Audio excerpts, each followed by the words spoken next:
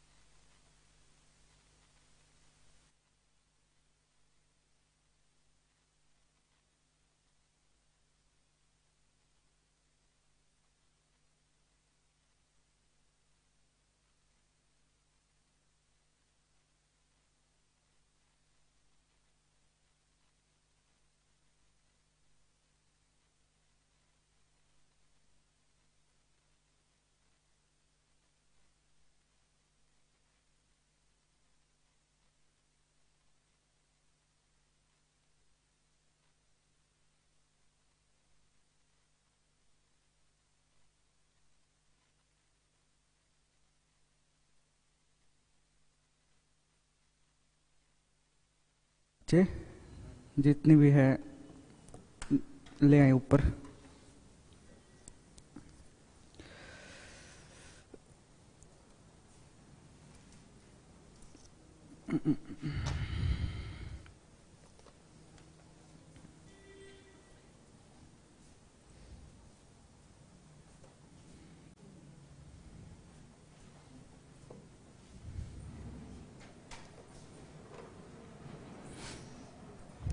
शुरू करूँ या फिर? सीट तो नहीं आई।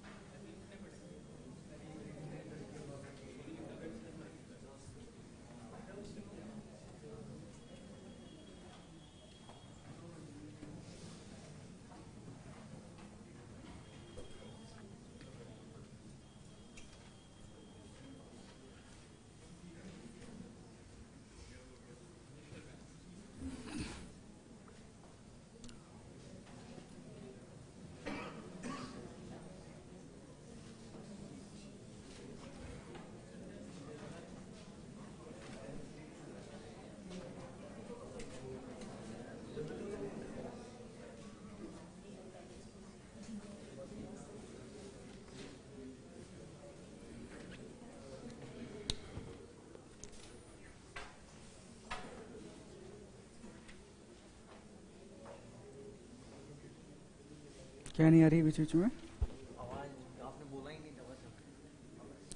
अरे भाई, मैंने अभी तक बोला ही नहीं है।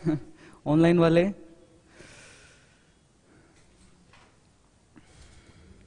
शुरू करूँ क्या? देखो भाई, शुरू करते हैं। जिनके पास शीट है, वो देखते रहो। नहीं है तो सामने लिखा, लिख दिया है मैंने। इतनी शीट आ जाएगी डिस्ट्रीब्यूट हो जाएगी। पहला सेंटेंस क्या है? ठीक है? वो है we have just known that he has left the city two days ago ठीक है? तो याद रखना, तुम्हें बताया भी था। जो एगो वर्ड होता है, ये मेरा यूज़ होता है सिंपल पास्ट के अंदर। ठीक है? पता है, अच्छी बात है, वरना याद रखा कि एगो यूज़ होता है मेरा किसमें पास्ट इनडेफिनेट में। ठीक है? एक बात और ध्यान रखना यहीं से। ठीक है? वहीं अगर मुझे यूज़ करना हो बिफोर को, ठीक है? तो वो यूज़ करते हैं हम पास्ट परफेक्ट के अंदर। तो ये दोनों बातें यहाँ से तुम याद रखना। अब अप्लाई करते हैं। पता चल गया कि एगो के साथ में जो लिखा जाता है वो कौन सा टाइम होता है? पास्ट का? तो पास्ट टेंस ही मैं यूज़ करूँगा, ठीक है? पास्ट टेंस के लिए हैज़ को हटा दो। वर्ब की सेकंड फॉर्म लेफ़्ट का यूज़ होगा। आया समझ में? किसी को कोई डाउट आगे बढ़े। ठीक है। सेकंड सेंटेंस जो है हमारा वो कहता है a rolling stone will gather no mosses ठीक है? अब ये क्या है? किस टाइप का सेंटेंस है? कोई बताएगा?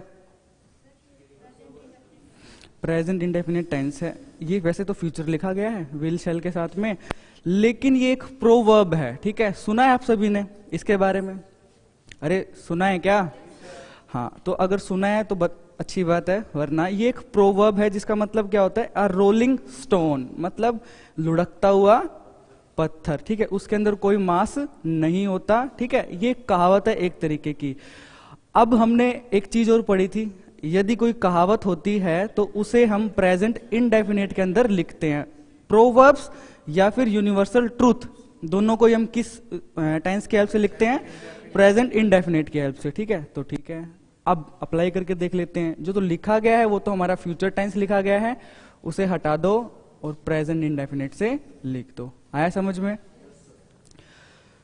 आगे। नोट कर लो इतने एक बार। फिर देखते हैं शीट वगैरह आती है तो।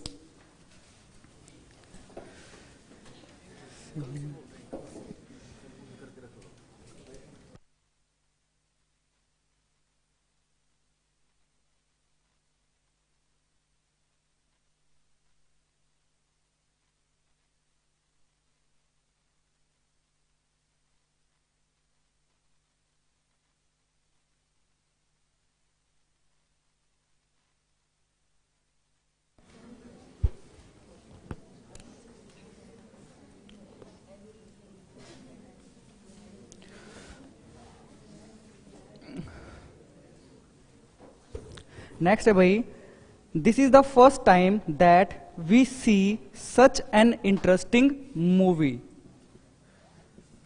this is the first time that we see such an interesting movie, ठीक है? देखो।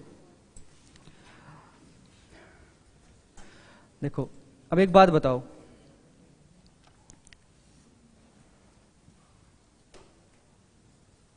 मान लो इस प्रकार से किसी मंथ की डेट्स हैं, ठीक है? वन, टू, थ्री, फोर, एक तारीख, दो तारीख, तीन तारीख, चार तारीख, ठीक है?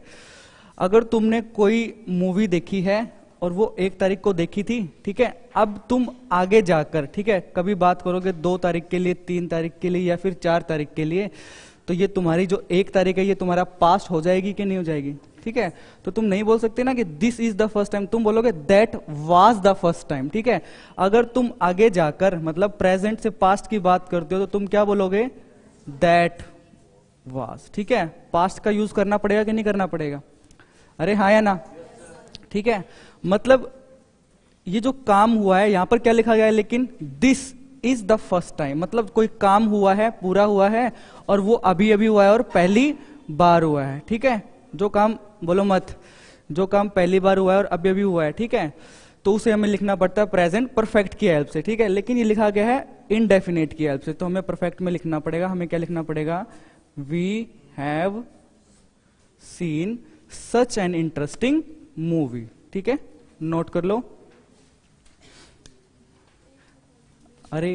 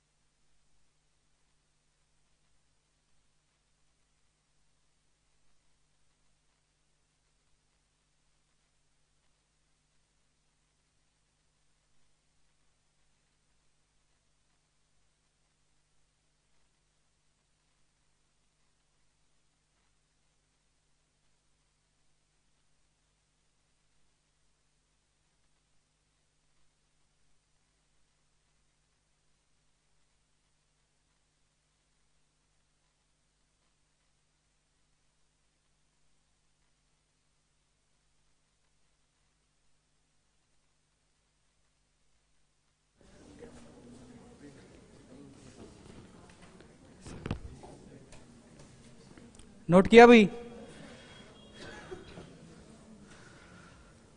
इसके बाद नेक्स्ट सेंटेंस है क्या? The man had started the journey again after the sun had risen लिखता हूँ मैं यहाँ पर। The man had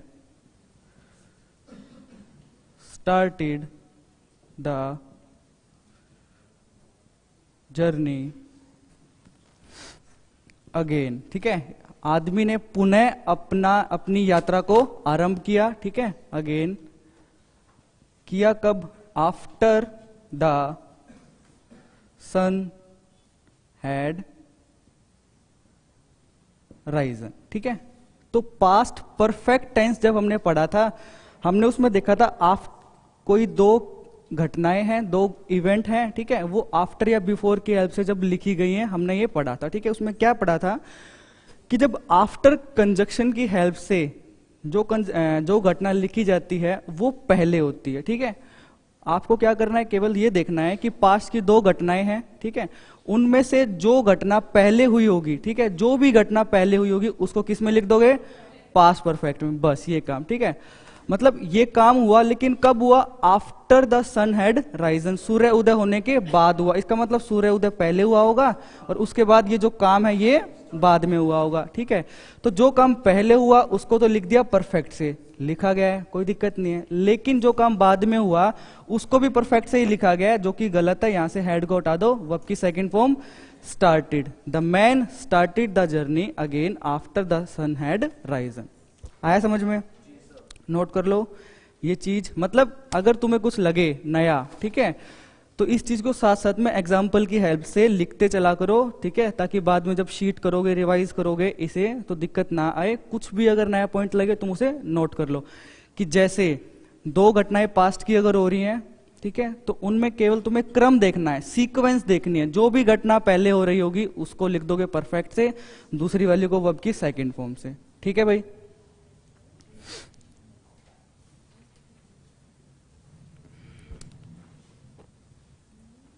इतने में अगला लिखता हूँ।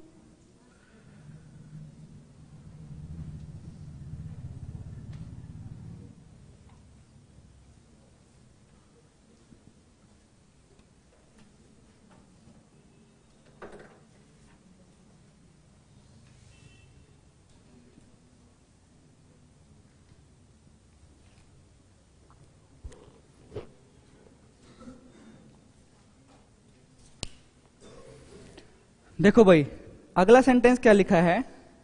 We didn't learn anything yet from our failure ठीक है? अब देखो, एक बात। इस सेंटेंस के अंदर तुम्हें क्या दिख रहा है? येट ठीक है? अगर इस सेंटेंस को सही करने की बात करूँ तो यह बताया गया था कि yet so far just just now इस तरीके की एडवर्ब्स जो होती हैं, इनसे मुझे यह पता चलता है कि जो काम हुआ है, वो हाल फ़िलहाल में हुआ है तो मुझे प्रेजेंट परफेक्ट के अंदर लिखना पड़ता है, ठीक है? लेकिन लिखा क्या गया है? ये लिखा गया है पास्ट टेंस की हेल्प से। तो गलत हो गया, ठीक है? तो परफेक्ट लिखने के लिए मुझे बनाना पड़ेगा हैव नोट ठीक है? इसके बाद वह भी मुझे थर्ड फॉर्म में लिखनी पड़ेगी लर्न ठीक है?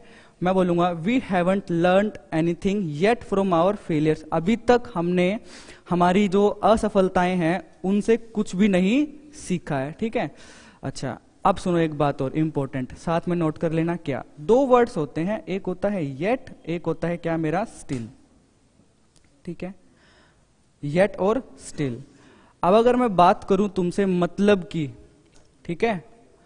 मतलब की तो क्या मतलब होता है? दोनों का कोई बताएगा? मीनिंग की। किसका मतलब टिल नाउ होता है? अच्छा यट का मतलब टिल नाउ और स्टिल का? हम्म? सही है, सुनो। यट का मतलब तो टिल नाउ, अभी तक हिंदी में फिर वही मतलब तो दोनों का सेम ही है, ठीक है? इसका मतलब होता है इवन नाउ इवन नाउ ठीक है? अब तुम जब, अगर मीनिंग के साइंस पे जाओगे तो तुम ज़रूर गलती करोगे, तुम अंतर नहीं पता लगा पाओगे, ठीक है? तो एक बात और बताता हूँ, बस वो याद रखना क्या? कि येट को इस्तेमाल अगर तुम्हें करना हो तो तुम याद करना कि तुम्हें परफेक्ट टेंस के अंदर येट को लिखना है और अगर वहीं कोई चीज़ कंटिन्यूस टेंस में लिखी गई है, ठीक है? या कोई इवेंट जो है वो कंटिन्यूस फॉर्म में है, तुम वहाँ पर किसका इस्तेमाल करोगे? स्टील का, ठीक है? याद करना, उतार लो इस चीज़ को, फिर आगे बढ़ते हैं। ऊपर वाले तो नोट कर लिए होंगे ना?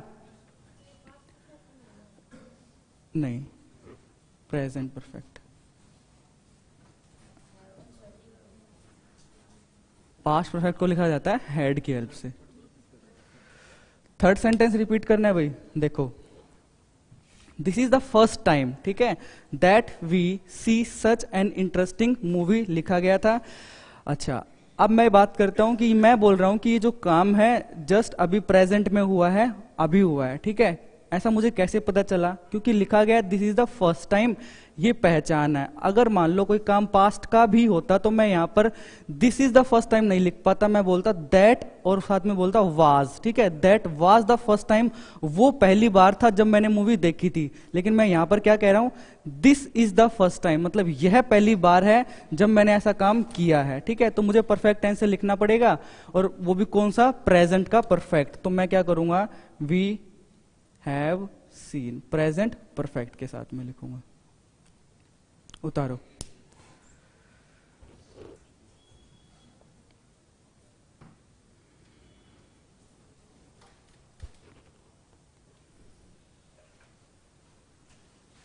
पाँच हो गए ना?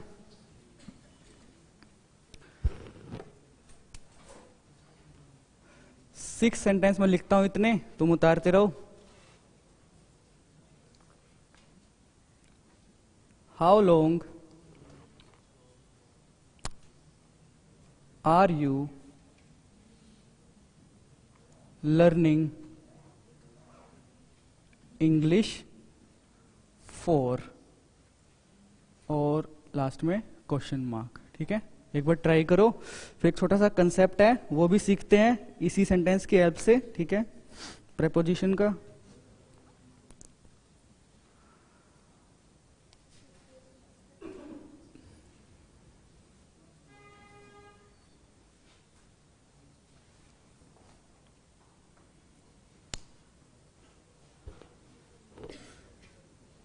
किया भाई नोट?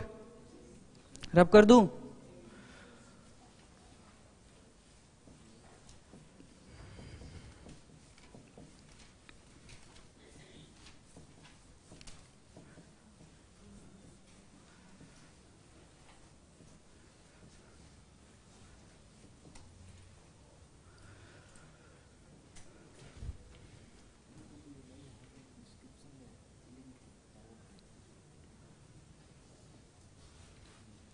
जो लोग हमें अभी फ़िलहाल यूट्यूब पर देख रहे हैं, ठीक है? आप आप मत देखो, आपके लिए नहीं है, ठीक है? जो लोग हमें यूट्यूब पर देख रहे हैं, ये जो सेंटेंसेस हम लिख रहे हैं, इसका लिंक है डिस्क्रिप्शन के अंदर। तो वहाँ से जाके आप पीडीएफ को डाउनलोड कर सकते हो और देख सकते हो, ठीक है? अब देखते हैं हमारा अगला सेंटेंस लिखा गया how long are you learning English for ठीक है? तीन चार बातें हैं, सभी बताता हूँ। बारी बारी से, ठीक है? सबसे पहले तो एक स्ट्रक्चर देख लो कि अगर किसी सेंटेंस के अंदर कोई क्वेश्चन पूछा गया है मतलब उसे बोलते हैं इंटेरोगेटिव स्ट्रक्चर तो उसका स्ट्रक्चर रहता क्या है, ठीक है? सबसे पहले सबसे सिंपल उसके लिए मैं उठाता हूँ सबसे बेसिक सा क्वेश्चन जो आप लोग सभी से पूछते रहते हो, क्या? वट आर यू डूइंग ठीक है? तो हमेशा इसी से याद रखना, क्योंकि सबसे बेसिक क्वेश्चन है। आपने क्या पूछा किसी से भी? वट आर यू डूइंग ठीक है? ये आपने क्वेश्चन किया, अब उठा लो, देखो। ये क्या है? डब्ल्यू एच परिवार का सदस्य है, जो कि कोई प्रश्न पूछने के लिए किया जाता है, ठीक है? उसके बाद ये क्या है? हेल्पिंग वर्ब ठीक है? उसके बाद ये क्या है मेरा सब्जेक्ट और मेरा है ये वर्ब मतलब अगर कोई इंटेरोगेटिव सेंटेंस है तो उसके अंदर मेरा स्ट्रक्चर किस प्रकार से रहता है? डब्ल्यूएच परिवार का सदस्य, उसके बाद हेल्पिंग वर्ब फिर सब्जेक्ट लिखा जाता है और फिर मेरी मेन वर्ब लिखी जाती है, ठीक है? अगर वहीं मेरा सेंटेंस कोई पॉजिटिव रहता है तो उसका स्ट्रक्चर मुझे पता है क्या रहता है? सब्जेक्ट वर्ब ठीक है? अगर हेल्पिंग वर्ब है तो पहले चलो लो हेल्पिंग वर्ब उसके बाद वर्ब और उसके बाद उसका ऑब्जेक्ट ठीक है? लेकिन अगर कोई सेंटेंस इंटेरोगेटिव है प्रश्नवाचक है। कोई क्वेश्चन पूछा गया है तो उसका स्ट्रक्चर ये रहता है, याद रखना, ठीक है? भूल जाओ तो ये क्वेश्चन बोलना, उसमें देख लेना कि ये क्या क्या है, तुम्हें याद आ जाएगा, ठीक है?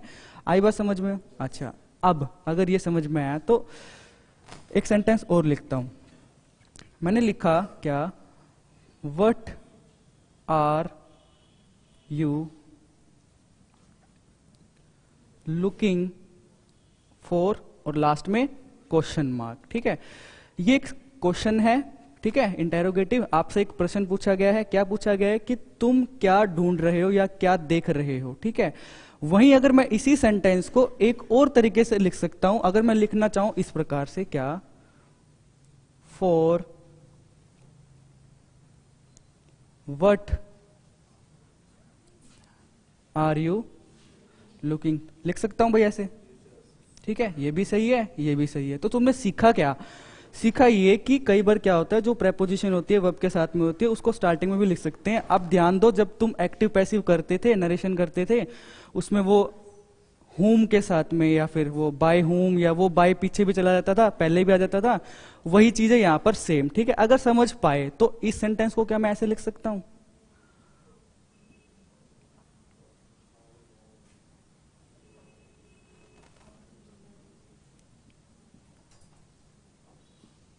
आर यू लर्निंग इंग्लिश हाँ है ना? लिख सकता हूँ भाई?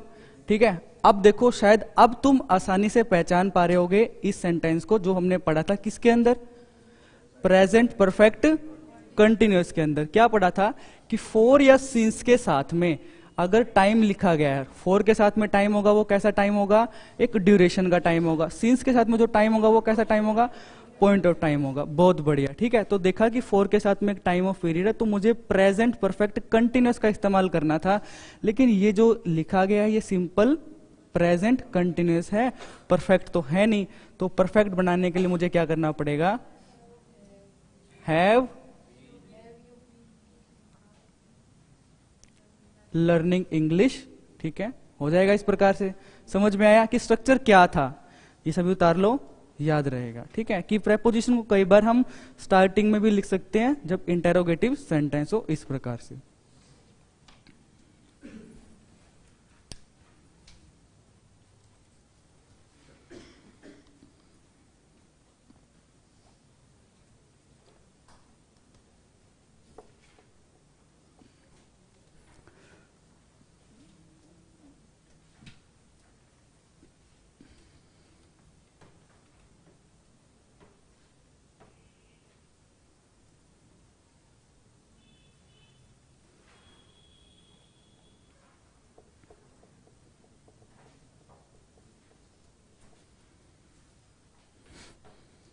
फोटोग्राफर साहब, हाथ को थोड़ा कष्ट दे लो, लिख लो।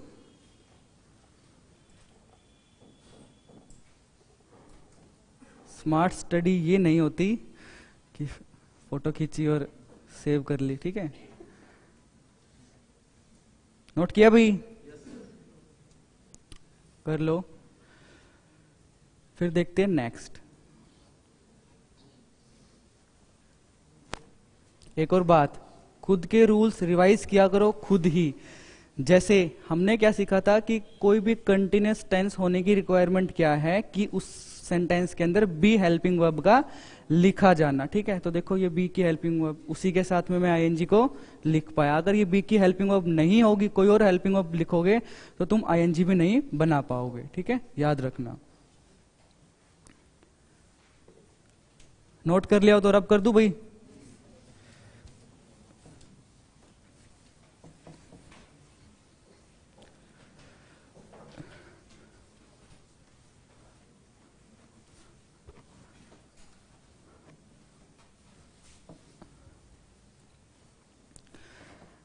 नेक्स्ट है by the next Monday Kamal will complete this book ठीक है?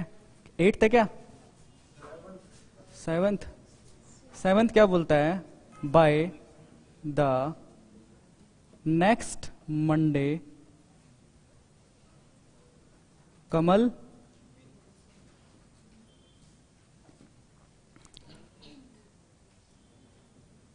complete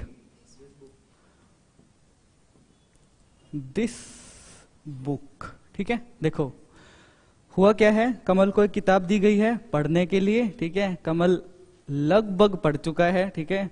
तुम में से नहीं है कमल, ठीक है? तुम्हें तो वो कैबलरी दी गई थी पढ़ने के लिए। पढ़िए ईमानदारी से किस किस ने है? बस एक, दो। और कौन कौन है जो वोकेबलरी पढ़ता है डेली घूम के देख लो, तुम्हारे इर्द गिर्द कितने एक हैं, ठीक है? अच्छा कोई बात नहीं। तो कमल एक अच्छा लड़का है, उसको एक किताब दी गई है पढ़ने के लिए, और वो पढ़ रहा है, उसने लगभग पढ़ लिया तो तुम बोल सकते हो कि शायद वो अगले मंडे को पूरी कर लेगा, ठीक है? तो ये एक डेडलाइन है। पहले जो कंसेप्ट है, वो समझो, ठीक है? डेडलाइन का। फिर से रिवाइज करवाता हूँ, क्या? डेडलाइन होती है, किसी को फिक्स कर देना कि इस टाइम तक तुम्हें उस काम को पूरा करना है, ठीक है? वैसे जो डेडलाइन होती है वो दो प्रकार की होती है। कौन कौन सी होती है वो दो प्रकार भाई? हाँ लकीर के फकीर। एक डेडलाइन होती है टाइम के अंदर और एक डेडलाइन होती है स्पेस के अंदर, ठीक है? टाइम के अंदर डेडलाइन जो पहले भी बताया था, जो तुम्हारे घर वालों ने तुम्हें दे रखी है कि इस डेट तक या इस साल तक, ठीक है? 2020 तक 2021 तक तुम्हें जॉब लेनी है तो ये डेडलाइन होगी टाइम के लिए, भाई तुम्हें टाइम दे दिया गया कि तुम्हें ये काम करना है इस टाइम के अंदर अंदर ठीक है? तो जहाँ टाइम का ज़िक्र आ गया, ठीक है, वो डेडलाइन क्या होगी? टाइम की होगी, ठीक है? वही डेडलाइन एक स्पेस की भी होती है, ठीक है? ये भी हमारे घर वाले ही देते हैं, ठीक है? मोस्टली ठीक है? क्या बोलते हैं? आज जब तू स्कूल गया था तो इस पड़ोसी से अपना जूत बज गया, ठीक है? अब इनके नहीं जाना, ठीक है?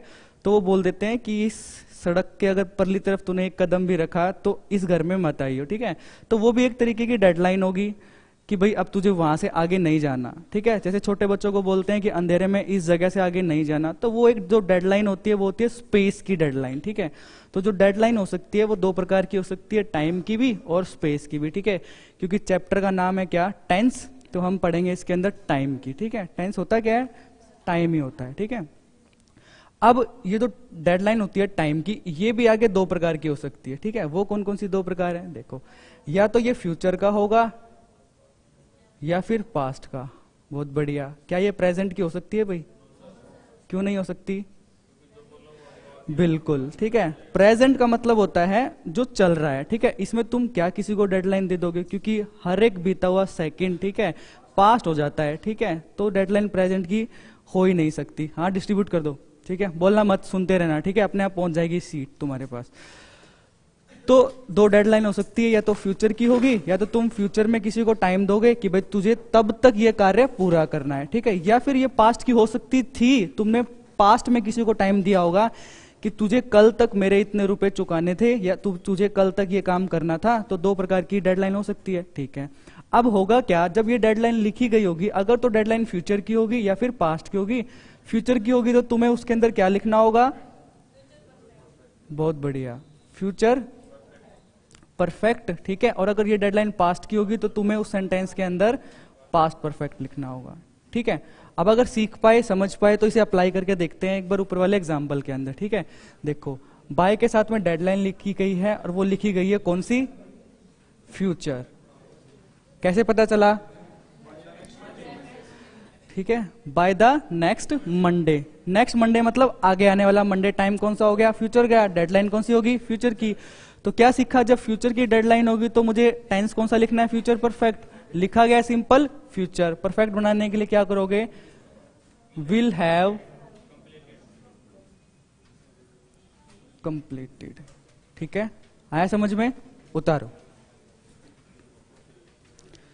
ये वाला सही है क्या? प्रिंट इसमें भी दिक्कत है। कोई ना, मैं लिख रहा हूँ ना।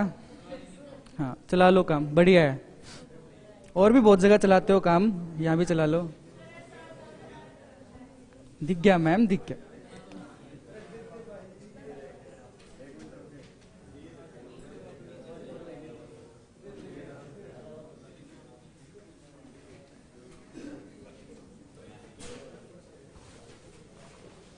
कोई नहीं।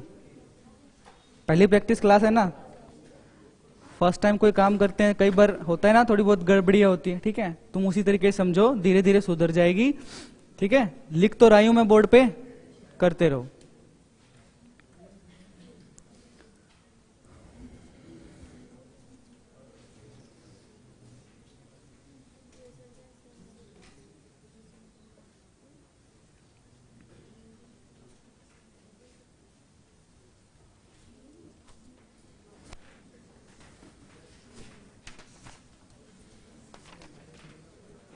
दिख तो रहा है, ऐसे ही।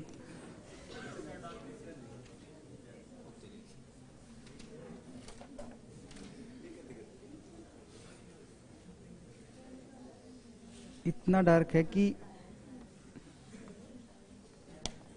देखो भाई नेक्स्ट अब ऐसा कोई है जिसके पास जिसके पास ऐसी शीट ना हो? है कोई? अरे अभी देखे गया था, मांगी नहीं तुमने। फ़ोन करना, ठीक है, आ रही है। सर, फ़ोन कर दो। हाँ। अच्छा आपके पास नहीं है। ठीक है सर, आ रही है। ठीक है। सुनते रहो भाई इतने। बोलो मत। एट सेंटेंस क्या कहता है? Since India have won the world cup we haven't lost any ODI series ठीक है? ट्राई करो एक बार इसको। सेंटेंस क्या है? Since India have won the world cup we haven't lost any ODI series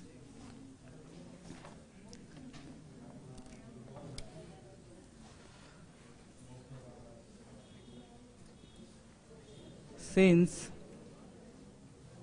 India have won the world cup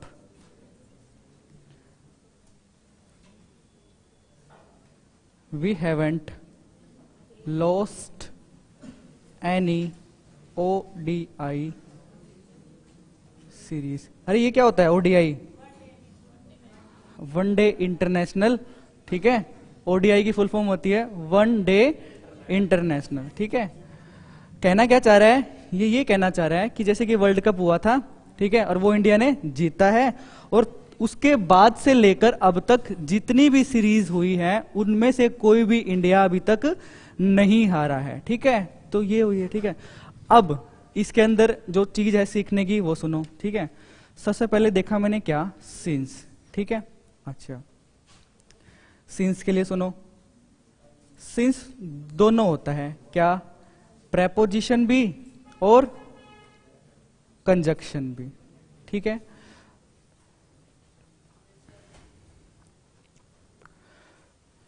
जिनके पास नहीं है, केवल अपना हाथ खड़ा रखें। ठीक है? वो अपने आप दे देगा। बाकी सामने सारे बोर्ड पे देखें। हाथ खड़ा रखें, ऊपर उसे पता कैसे चलेगा?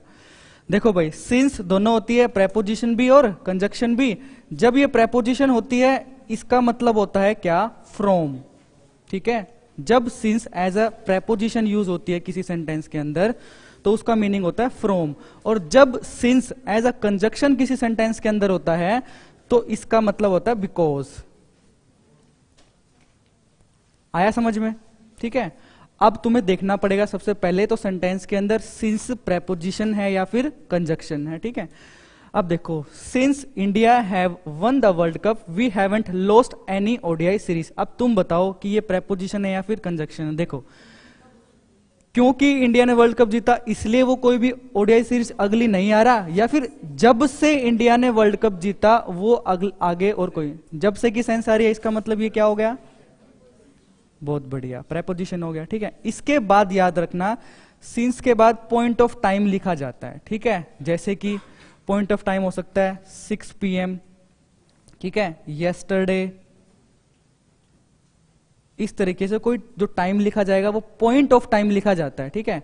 और अगर कोई घटना, कोई इवेंट भी लिखी जाएगी तो भी वो सिंपल पास्ट की फॉर्म में लिखी जाएगी, ठीक है? लेकिन जो घटना लिखी गई है, वो परफेक्ट फॉर्म में लिखी गई है, इसे हटा दो। क्या हो जाएगा? Since India won the world cup we haven't lost any ODI सी आया समझ में सभी को? क्या कि सीन्स के साथ में सबसे पहली बात तो पॉइंट ऑफ़ टाइम लिखा जाएगा, ठीक है? अगर किसी घटना को लिखना है तो तुम इसे पास्ट इंडेफिनेट में लिखोगे हमेशा।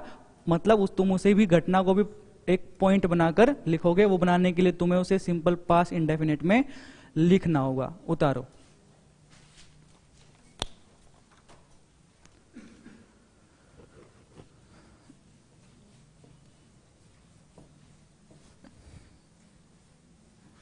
वैसे ये सभी रूल्स अगर तुमने लगातार कंटिन्यू क्लासेस लगाई होंगी तो तुम्हारी नोटबुक में होंगी, होंगे सारे के सारे रूल्स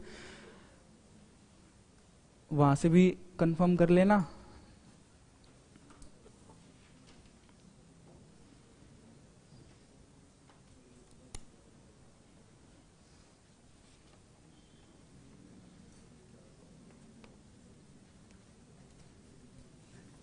चलो भैया, अगला बोर्ड पे लिखने की ज़रूरत नहीं है सिंपल सा है। नोट किया भाई सभी ने? चले आगे। देखो नाइन्थ कहता है क्या? It is well known fact that it is Alexander's courage that brought him such glory ठीक है? तो देखो क्या कह रहा है? It is it is well known fact एक फैक्ट है जो प्रख्यात है सभी के बीच में, ठीक है? It is well known fact लेकिन वो जो फैक्ट है, वो क्या है? देखो, वो है एक पास्ट की घटना पास्ट की एक इवेंट और वो इवेंट क्या है? That is it is Alexander's ठीक है? करेज पता होगा सिकंदर अलेक्जेंडर कौन था? ठीक है? उसका साहस था जो कि वो इतनी ग्लोरीज बना पाया, इतनी ग्लोरीज मतलब इतने कीर्तिमान स्थापित कर पाया, ठीक है? तो क्या ये घटना पास्ट की नहीं है? क्या हम नहीं जानते कि अलेक्जेंडर पास्ट में था, ठीक है? लेकिन वो जो फैक्ट है, वो अभी भी नोन है, ठीक है? इसलिए इसे लिखा सिंपल प्रेजेंट में। It is well known fact that but ये जो घटना है पास्ट की है तो किसमें लिखी जानी चाहिए थी? पास्ट टेंस में लिखी जानी चाहिए थी। तुम सिंपल कर दो। इट वॉज़ अलेक्जेंडर्स करेज ठीक है? क्योंकि अलेक्जेंडर अब जीवित नहीं है, मर चुका है पास्ट की बात है तुम्हें पास्ट टेंस से ही लिखना पड़ेगा, ठीक है? क्या करोगे तुम नाइन्थ में? बी पार्ट के अंदर दैट इट वाज ठीक है? अब जो भी सेंटेंस होगा, उसमें कुछ अच्छा बताने लायक होगा तो मैं उसे बोर्ड पे लिख दूँगा। बाकी तुम अब साथ साथ टैली करोगे शीट की हेल्प से, ठीक है? देखो, Mohan will be here next है भाई tenth Mohan will be here in no time I just called him ठीक है? देखो जरा, कर पा रहे हो क्या? अपना अपना करना।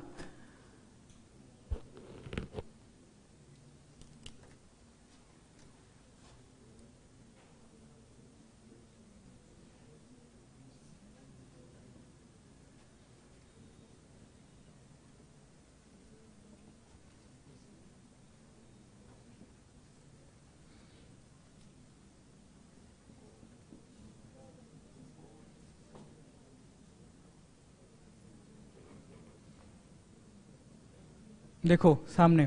ये सेंटेंस है, Mohan will be here in no time I just called him ठीक है? मुश्किल नहीं है, बहुत आसान है। क्या? जो सेकंड क्लोज है, इसका, इसके अंदर लिखा गया आई जस्ट कॉल्ड हिम ठीक है? तो आपको बताया गया था क्या? प्रेजेंट परफेक्ट के अंदर कुछ वर्ड्स जैसे कि just just now yet so far ठीक है एक्सेट्रा इनके साथ में मुझे कौन से टेंस का इस्तेमाल करना होता है? प्रेजेंट परफेक्ट का, ठीक है? लेकिन जो लिखा गया सिंपल वर्ब की सेकंड फॉर्म है प्रेजेंट परफेक्ट का इस्तेमाल करना होता है प्रेजेंट परफेक्ट परफेक्ट का मतलब होता है हैव या फिर हैव की कोई ना कोई फॉर्म का होना सेंटेंस के अंदर। क्या है? नहीं है। और क्योंकि प्रेजेंट है सब्जेक्ट के अकॉर्डिंग मैं लिखूँगा क्या? I just have called him ठीक है? हैव बीच में लगा दो, सही हो जाएगा। परफेक्ट में लिखना पड़ेगा, ठीक है? नोट करो, फिर चलते हैं आगे।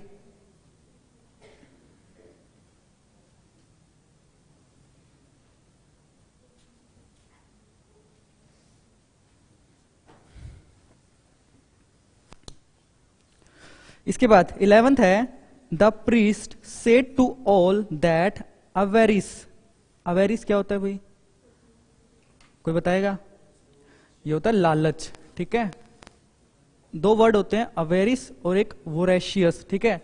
अवेरिशियस और एक वोरेशियस, ठीक है? देख लेना, प्रीवियस ईयर है, आया भी हुआ है, दोनों का मतलब क्या होता है? लालची, ठीक है? तो ये अवेरिस क्या हो गया? लालच, ठीक है? अब क्या कहना चाह रहा है, देखो, प्रीस्ट ने कहा था, क्या कहा था? लालच जो है, वही रूट ऑफ़ ऑल इविल्स, ठीक है? जड़ थी किसकी? सभी की, सभी बुराइयों की, ठीक है? तो हाँ देखो सेंटेंस की स्टार्टिंग जो हुई है पास्ट से हुई है, ठीक है? कोई बात नहीं रिपोर्टेड जो वर्ब है तुम्हारी, वो कैसी है? पास्ट की है। लेकिन जो उसके बाद सेंटेंस लिखा गया है, वो एक प्रोवर्ब कह लो यूनिवर्सल ट्रूथ कह लो, ठीक है? इस कैटेगरी में आता है। इनके ऊपर टेंस का कोई फ़र्क नहीं पड़ता, तुम्हें इन्हें प्रेजेंट इंडेफिनेट में ही लिखना होता है तो तुम क्या करोगे? अवेरिस वाज को हटाकर इज़ कर दोगे, ठीक है? लालच जो है, बुराइयों की वजह थी भी है भी और रहेगी भी, ये कभी बदल नहीं सकती। इसलिए तुम हमेशा इसे किससे लिखोगे? प्रेजेंट इंडेफिनेट टेंस से। तो क्या हो जाएगा भाई? अवेरिस बी पार्ट में अवेरिस वाज की जगह पर इज़ ठीक है? कोई डाउट किसी को? इसके बाद सेंटेंस रिपीट कर दू मैम सेंटेंस है the priest said to all that avarice A V A R I C E avarice ठीक है? Was the root of all evils ठीक है?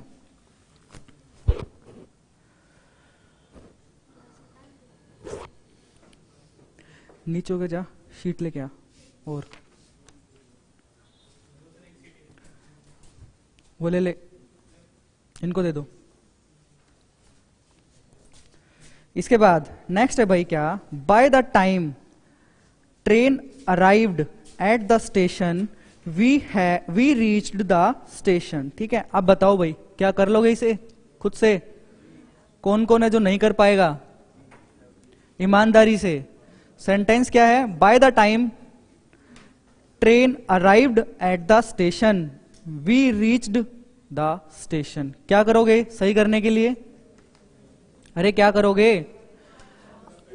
हाँ।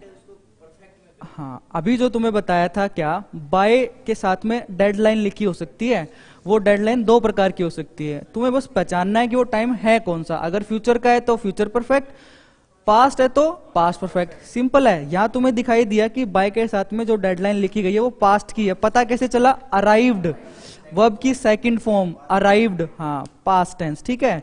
इसके बाद जो अगला क्लोज है, तुम्हें वहाँ पर पास्ट परफेक्ट का इस्तेमाल करना था तो क्या हो जाएगा? We had reached the station आया समझ में सभी को? इसके बाद thirteenth they have been completing one third of the work by now ठीक है? अच्छा क्वेश्चन है, बहुत सारी चीज़ें सीखेंगे। बताता हूँ। थोड़ा सा मैथ भी होगा इसके अंदर।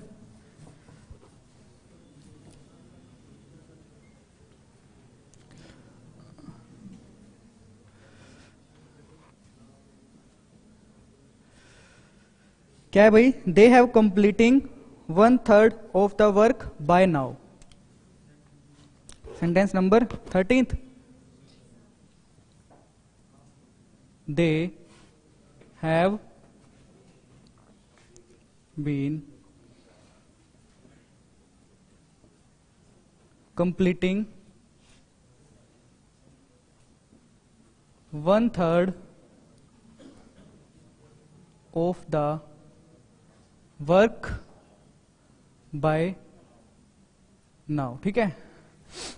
फुल स्टॉप तो देखो डिटर्मिनर चैप्टर होता है, ठीक है? हम पढ़ेंगे ज़रूर।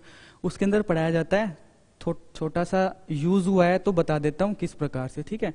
हम सभी ने मैथ पढ़ा है तो एक बात बताओ। जैसे ये पाई चार्ट होता है, सबने पढ़ा है, ठीक है? अगर मैं इस पाई चार्ट के चार हिस्से कर दूँ तो ये हो जाएगा फ़र्स्ट सेकंड थर्ड फोर्थ ठीक है? और अब मैं इस हिस्से की बात करूँ केवल तो मैं क्या लिखूँगा भाई? वन फोर्थ ठीक है? यही लिखूँगा। अगर इसको मैं इंग्लिश में लिखूँगा तो मैं बोलूँगा क्या? वन फोर्थ हाँ है ना? ठीक है? क्यों बोल पाया मैं? एक बात बताओ, जितनी भी चीज़ें थी, उसमें से ये एक थी सिंगलर थी सिंगलर फॉर्म में लिखा गया, ठीक है? अब मैं क्या करता हूँ? मैं इसके दो हिस्सों की बात करता हूँ, ठीक है? तो मैं क्या लिखूँगा भाई? वन बाई टू अब इंग्लिश पे आ जाओ, ठीक है? मैं लिखूँगा क्या? टू फोर्थ मुझे यहाँ पर प्लूरल शो करना पड़ेगा, ठीक है? ऐसा क्यों करना पड़ेगा आप समझ पाओगे, ठीक है? हम केवल कब करते हैं प्लूरल फॉर्म को? नाउन को प्लूरल बनाना होता है, उसके बाद में हम एस लगा देते हैं, ठीक है? कब लगाते हैं? होना भी तो चाहिए प्लूरल क्या ऊपर प्लूरल था? चार में से एक की बात हो रही थी सिंगुलर था कि नहीं था? सिंगुलर था तो सिंगुलर ही लिखा, ठीक है? अब चार में से जब दो की बात हो रही है तो प्लूरल हो गया कि नहीं हो गया? प्लूरल लिखेंगे, ठीक है? उसी प्रकार से अगर मैं लिखूं तो भी मुझे थ्री फोर्स करना पड़ेगा, ठीक है? मतलब मैं चार में से किन्हीं तीन हिस्सों की बात कर रहा हूँ। आया समझ में? ठीक है? ये तो होता है नाउन को लिखने का तरीका, ठीक है? अब देखते हैं वब पे इसका क्या फ़र्क पड़ता है? ठीक है, मैं सेंटेंस लिखता हूँ तुम्हें समझाने के लिए। पहला सेंटेंस मैंने लिखा, क्या? Half of the mango is ripe ripe का मतलब समझते हो सभी? पका हुआ, ठीक है? सेकंड मैं लिखता हूँ। Half of the mangoes is ripe ठीक है? अब समझो, देखो, ये जो स्ट्रक्चर है, ठीक है वन फोर्थ या हाफ़ ऑफ़ ठीक है, इस प्रकार से तो नाउन का जो कंसेप्ट तुम्हें बताया, वो केवल नाउन तक ही सीमित रहता है, ठीक है? जो, लेकिन मेन वर्ब है मेरी सेंटेंस की, वो यहाँ पर है। वो फ्रैक्शन के अकॉर्डिंग नहीं आती, वो मेरी किसके अकॉर्डिंग आती है? मेन नाउन के अकॉर्डिंग आती है, ठीक है? एक बार चेक कर लेते हैं, देखो। हाफ़ ऑफ़ द मैंगो ठीक है? मेरा जो मेन नाउन है, वो ये है, ठीक है? मान लो, जिस भी प्रकार का होता है, ऐसा तो वैसे नहीं होता, ठीक है? ऐसा कोई मैंगो है, ठीक है? मैं क्या कह रहा हूँ? आधा पका हुआ है, ठीक है? पॉसिबल है कि नहीं है भाई? अरे हाँ है ना पॉसिबल है? भाई, आधा आम पका हुआ आधा कच्चा हो, खाया होगा सबने, ठीक है? आया भी होगा इससे में कच्चा वाला, ठीक है? तो ये पॉसिबल है कि आधा जो आम है, वो पका हुआ है, आधा जो है, वो कच्चा है तो half of the mango is ripe ठीक है? वर्ब सिंगुलर लिखी, क्यों लिखी? क्योंकि जो मेरा मेन नाउन है, वो मेरा सिंगुलर है। आया समझ में, ठीक है? इसके बाद, अब यहाँ देखो हाफ़ ऑफ़ द मैंगोज जैसे कि अब ऐसे ऐसे बहुत सारे मैंगोज थे ठीक है? मान लो अगर दस थे तो उनमें से कितने की बात हो रही है? पाँच की बात हो रही है। अगर दस थे तो उनमें से पाँच की बात हो रही है, तभी तो होंगे हाफ़ ठीक है? तो अब ये जो मेरा मेन नाउन है, ठीक है, ये प्लूरल है प्लूरल लिखना पड़ेगा तो मुझे वर्ब भी प्लूरल लिखनी पड़ेगी, ठीक है? यहाँ इस हाफ़ का, इस वर्ब के ऊपर कोई फ़र्क नहीं पड़ेगा। आई बात समझ में? ठीक है? और अच्छे से समझते हैं, ठीक है? नाम दे देते हैं। एक, दो। अब देखो थर्ड एग्ज़ाम्पल अगर मैं ये लिख दू half of the student is absent क्या लिख पाऊँगा? क्या लिख पाऊँगा? सेंटेंस ही गलत है, ठीक है? सेंटेंस ही गलत है। क्यों? क्योंकि जो स्टूडेंट है, उसका आधा हिस्सा तो स्कूल में आया है। मतलब आधा हिस्सा तुम्हारा पढ़ने आया, आधा हिस्सा नहीं है पॉसिबल नहीं है, लेकिन वहाँ पॉसिबल था। मैंगो का तो लिख पाया। यहाँ पॉसिबल नहीं है तो मैं नहीं लिख पाऊँगा। तो रट्टा मत मारना कि किसके साथ में क्या वर्ब आती है किसके साथ में क्या। ठीक है, तुम्हें यहाँ पर ये ही लिखना पड़ेगा। क्या? Half of the students are absent आई बात समझ में? ठीक है? तो ये छोटा सा कंसेप्ट था डिटर्मिनर का, तुम सीख पाए ठीक है? अब आते हैं वापस। जो हमारा क्वेश्चन है, वो टेंस से रिलेटेड है, ठीक है? उसमें देखते हैं क्या। They have been completing one third of the work by now ठीक है? बाय नाउ मतलब अभी तक, ठीक है? मतलब यही बताता है कि जो काम है वो कैसा लिखना पड़ेगा इसके साथ में हमें? प्रेजेंट परफेक्ट का, ठीक है? अब देखो प्रेजेंट परफेक्ट कंटिन्यूस लिखना चाहिए, लेकिन जब प्रेजेंट परफेक्ट कंटिन्यूस में लिखना हो, लेकिन उसके साथ में उसका रिज़ल्ट दे रखा हो, बताया था? कि अगर सेंटेंस के अंदर, ठीक है, तुम्हें रिज़ल्ट साथ में दे रखा है वर्ब के तो तुम्हें वहाँ पर आईएनजी फॉर्म में नहीं लिखना, उस वर्ब को तुम्हें वहाँ पर परफेक्ट फॉर्म में लिखना है। तो अगर तुम्हें याद है तो तुम्हें ये हटाकर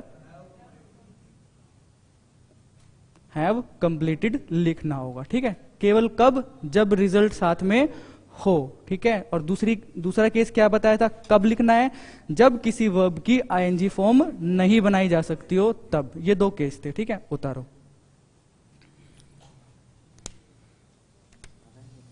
हम्म? दस बज गए क्या?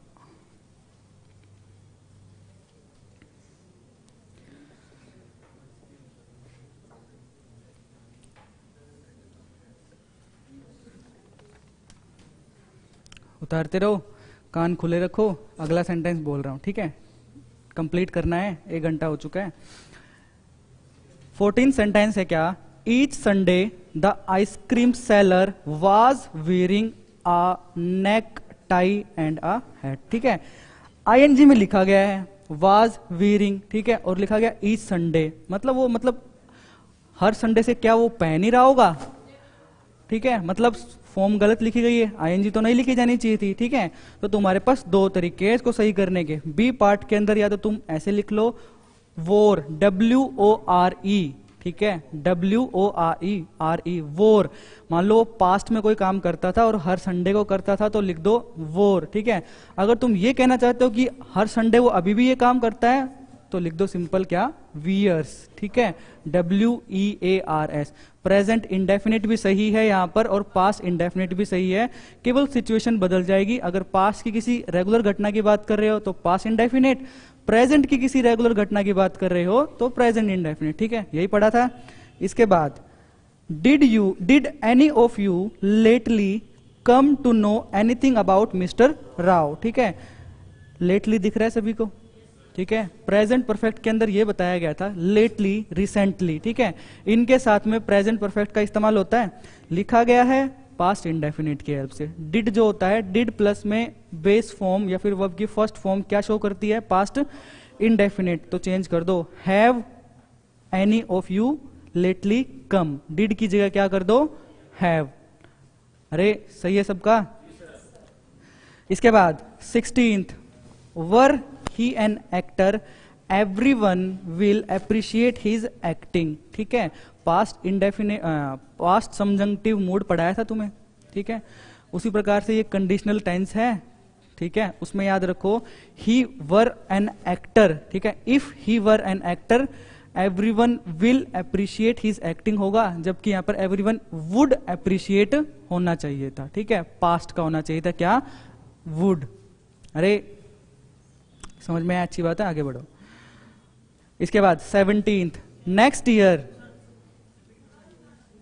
मैम देखो ही वर लिखा गया है क्या? वर ही एन एक्टर ठीक है? रेगुलर क्लास में तुम्हारे में कंडीशनल टेंस नहीं हुआ है अभी, ठीक है? कंडीशनल टेंस नहीं हुआ है, ये क्वेश्चन उसका है, पहली बात तो। लेकिन पास सब्जेक्टिव मूड तो हुआ है। ठीक है? उसी से रिलेटेड है कि जब कोई घटना इमेजिनरी होती है अनरियल होती है तो उसे वर्ब की सेकंड फॉर्म से लिखना पड़ता है, ठीक है? तो ये वर जो वर है ना, ये वही वर्ब की सेकंड फॉर्म है, ठीक है? इसके बाद, क्योंकि ये वर्ब की सेकंड फॉर्म है, इसका रिज़ल्ट भी जो है मुझे पास्ट का ही लिखना पड़ेगा, ठीक है? तो उसलिए मुझे वुड अप्रिशिएट करना पड़ेगा। अगर समझ में आ रहा अच्छी बात है, वरना जब ये टॉपिक होगा कंडीशनल तब आ जाएगा मार्क करके छोड़ दो, ठीक है? सेवनटींथ ठीक है? Next year I will have been knowing him for twenty year ठीक है? बहुत बढ़िया, ठीक है? तुम्हें यह बताया गया था कि कुछ वर्ब्स होती हैं जिनका आईएनजी नहीं बना सकते। जब आईएनजी नहीं बना सकते तो प्रेजेंट परफेक्ट कंटिन्यूस भी नहीं बना सकते। लेकिन अगर फिर भी मुझे वो कंटिन्यूस वाली फीलिंग चाहिए कंटिन्यूस वाली फॉर्म चाहिए तो मैं उसे प्रेजेंट परफेक्ट से लिख दूँगा। मीनिंग सेम ही होगा, ठीक है? तो लिख दो, क्या? Next year I will have known, been भी काट दो, नोइंग भी काट दो और क्या लिख दो? नोन वर्ब की थर्ड फॉर्म इसके बाद eighteenth we enjoyed the movie when suddenly some shouted ठीक है? समझो भाई इसको। मतलब हमने मूवी इंजॉय कर ली थी मतलब हमने इतनी देर में मूवी इंजॉय कर ली, कब इंजॉय कर ली? जितने में कोई चिल्लाया। तो भाई देखो, दो एक्शन है इसके अंदर, ठीक है? कौन कौन से हैं? एक मूवी को इंजॉय करना, ठीक है? और एक शाउट शाउट ये दो एक्शन है। दोनों ही पास के शो किए गए हैं, ठीक है? अब एक बात बताओ, क्या ये पॉसिबल है कि कोई चिल्लाए, इतनी देर में मेरी, मैं मेरी मूवी इंजॉय कर लूँ? पॉसिबल है? ठीक है? नहीं है। मतलब ये तब पॉसिबल है कि मैं इंजॉय कर रहा था किसी मूवी को और इतने में कोई चिल्लाया। मतलब एक बैकग्राउंड एक्शन पास्ट का चल रहा था, ठीक है? और इतने में एक और दूसरा एक्शन पास्ट का पीछे से हो गया, ठीक है? तो ये मैंने पढ़ा था पास्ट कंटिन्यूस टेंस के अंदर, ठीक है? अब वो अप्लाई करके देख लो क्या? We were enjoying the movie when suddenly someone shouted ठीक है? वेन और वाइल से बताया था, पहचान? लिखा भी हुआ है। अरे हाँ ना। किस किस का सही था तुम में से ये? गलत क्वेश्चन पूछा है वैसे तो। फिर भी बता दो, किस किस ने सही कर लिया था ये वाला क्वेश्चन बस। हाँ तो इतनी ज़ोर की भरी है। फोर्टींथ फोर्टींथ क्वेश्चन देखो भाई दोबारा से एक बार। Each Sunday the ice cream seller was wearing a neck tie and a hat ठीक है? सेकेंड पार्ट में आईएनजी फॉर्म में लिखा गया पास्ट कंटिन्यूस में, ठीक है? जबकि पास्ट कंटिन्यूस ये बन ही नहीं सकता, क्यों? क्या ऐसा है कि हर संडे वो पहन रहा था ये सब कपड़े वपड़े, ठीक है? ऐसा नहीं है, ठीक है? ठीक करने के लिए तो तुम बी पार्ट में पास्ट टेंस सिंपल वर्ब की सेकंड फॉर्म वोर से लिख दो, या तुम प्रेजेंट इंडेफिनेट बनाना चाहते हो तो वीयर से लिख दो, दोनों ही सही हो जाएगा। आई बात समझ में? इसके बाद nineteenth the cheese is smelling awful same वही बात, ठीक है? अब हम क्या बोलते हैं? कई बार हम हिंदी में अनुवाद करके देखते हैं, ठीक है, कि इसमें से बहुत खराब बदबू आ रही है, ठीक है? हम यही बोलते हैं, कोई चीज़ सड़ रही होती है तो हम बोलते हैं, अरे, ये तो सड़ रहा है। ठीक है? हिंदी में बोल दिया, सड़ रहा है। इंग्लिश में उसका आई भी बना दिया, ठीक है? जबकि ऐसा नहीं होता बहुत सी वर्ब्स होती हैं जो या तो होती हैं या फिर वो नहीं होती, उनका आईएनजी फॉर्म नहीं बना सकते। वो हमने वर्ब चैप्टर के अंदर पढ़ा था, जैसे कि सी वर्ब ठीक है स्मेल वर्ब ठीक है नो वर्ब इस प्रकार से। लव लाइक ठीक है मेंटली स्टेट्स अगर उस चीज़ को अप्लाई करें तो या तो वो ओफुल स्मेल कर रही होगी या नहीं कर रही होगी, दोनों में से एक बात होगी। इस प्रकार से नहीं कह सकते, हिंदी में अनुवाद करके कि वो कर रही है। वो हिंदी में ठीक है, इंग्लिश में नहीं होता। तुम्हें लिखना पड़ेगा क्या? स्मेल वर्ब ठीक है लिंकिंग वर्ब है, तुम उसका आई नहीं बना सकते, तुम्हें लिखना पड़ेगा दिस चीज़ स्मेल्स ऑफुल ठीक है स्मेल्स ऑफुल इसके बाद twenty all my friends shall reach there before it will be five o'clock ठीक है? अच्छा। इसको देख लेते हैं भाई।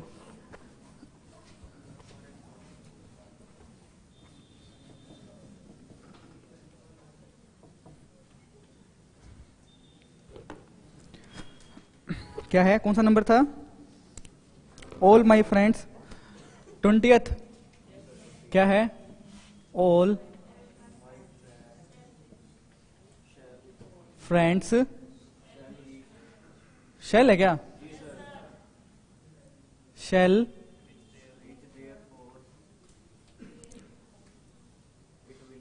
reach there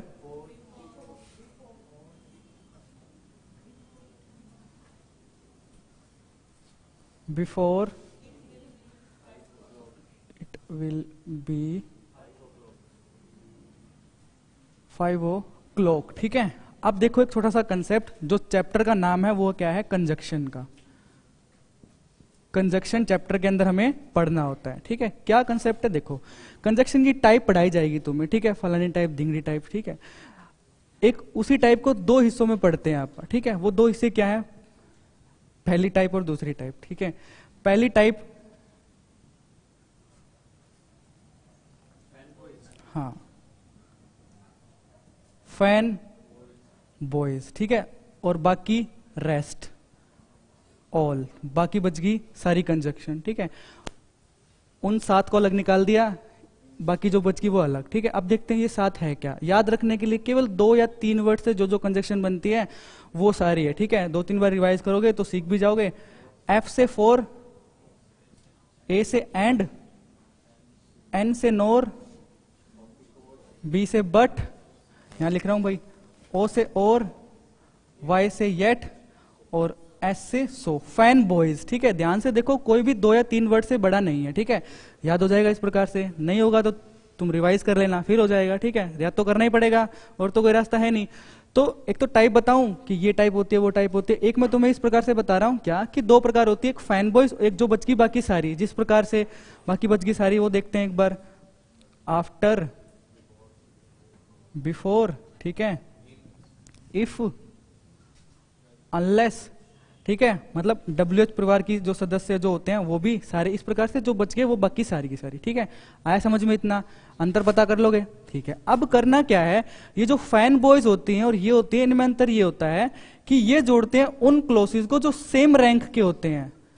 सेम रैंक मतलब रैंक से मतलब क्या है? रैंक समझ में आता होगा रैंक कोई एसपी है तो सेम रैंक क्या हो जाएगा? दूसरा भी एसपी इसी प्रकार से। कोई इंडेफिनेट है तो दूसरा भी क्या हो जाएगा? इंडेफिनेट कोई कंटिन्यूस है, दूसरा भी क्या हो जाएगा? कंटिन्यूस मतलब ये सभी वहाँ इस्तेमाल करते हैं जहाँ पर हमें दो क्लोज जोड़ने होते हैं, ये ज़्यादा क्लोज जोड़ने होते हैं, लेकिन वो कैसे होने चाहिए? सेम रैंक के। इनकी हेल्प से जोड़ सकते हैं हम केवल और केवल सेम रैंक के सेंटेंसेस को, लेकिन इनकी हेल्प से नहीं कर सकते ऐसा। ठीक है? तो ये दो कैटेगरी मैंने इस प्रकार से बना दी। मैंने नहीं, जिसने बनाई, मैंने तुम्हें सिखा दी। ठीक है? अब तो देखो, अब तुम्हें याद रखना है। या तो तुम ऐसे याद कर लो कि ये उसमें से नहीं है, इसलिए या फिर तुम ये याद कर लो कि जो बाकी सभी बच गए ना, इनके साथ में फ्यूचर टाइम्स इस्तेमाल नहीं होता, ठीक है? फ्यूचर इनडेफिनेट का इस्तेमाल नहीं होता जो इनके साथ होता मतलब विल शैल होगा, तुम तुरंत काट दोगे, ठीक है? तुम्हारा काम है पेपर के अंदर डायरेक्ट याद रखना, देखा कि फ़ैन बॉयज़ में से एक नहीं है, इसका मतलब विल भी नहीं हो सकता, ठीक है? कर दोगे। आया समझ में? अरे हाँ है ना? अरे, आया समझ में? मतलब ये जो बच गई बाकी सारी फ़ैन बॉयज़ के बाद में, इनके बाद में अगर फ्यूचर टेंस का इस्तेमाल हो तो तुम्हें तुरंत पता चल जाएगा कि ये गलत है। वहाँ से काट दो। आफ्टर बिफोर इफ़ अनलेस इनके बाद में अगर फ्यूचर टेंस पता कैसे चलेगा? विल शेल का इस्तेमाल हो रखा होगा। देखते ही गलत है, काट दो। लेकिन अगर विल शेल का इस्तेमाल इनके साथ हो रखा होगा तो गलत नहीं हो सकता। दो फ्यूचर के सेंटेंसेस इससे तो जुड़ सकते हैं, इन सभी से। लेकिन दो फ्यूचर के सेंटेंसेस इससे नहीं जुड़ सकते, ठीक है? अब रटना भी थोड़ा ध्यान से रटना, ठीक है? लकीर का फकीर मत बन जाना। यह मत कह देना कि उस सेंटेंस के अंदर ही व्हील शेल का इस्तेमाल नहीं हो सकता। केवल उस क्लोज के अंदर मतलब देखो, यहाँ पर भी तो फ्यूचर है। मतलब जो दूसरा क्लोज होगा, उसमें फ्यूचर लिख सकता हूँ मैं। लेकिन जो close before after if unless इनके बाद होगा, उस वाले क्लोज के अंदर व्हील छल का इस्तेमाल नहीं होगा। ठीक है? याद रखना। उतार लो इस चीज़ को, लिख लो।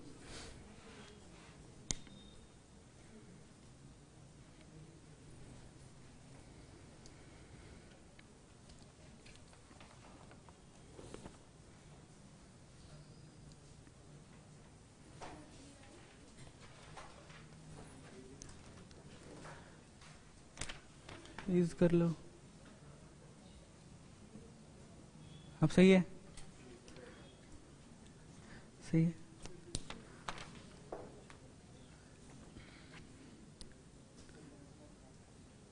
क्या?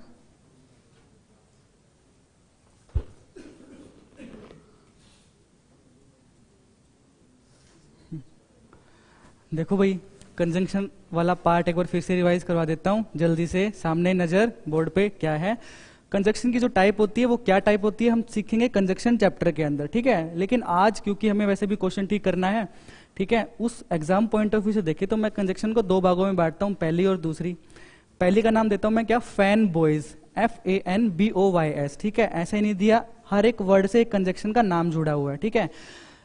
एफ़ से फोर होगा ए से एंड होगा एन से नोर बी से बट ओ से और वाई से येट और एस से सो ठीक है? इस प्रकार से, ठीक है? ये सात कंजक्शन होती है। और बाकी जो बच गई सारी, ठीक है? और भी बहुत होती है, जैसे कि after before if unless W H परिवार के जो सदस्य होते हैं देन वगैरह ये सब, जो बच गई सारी की सारी, ठीक है? कंजक्शन आया समझ में इतना?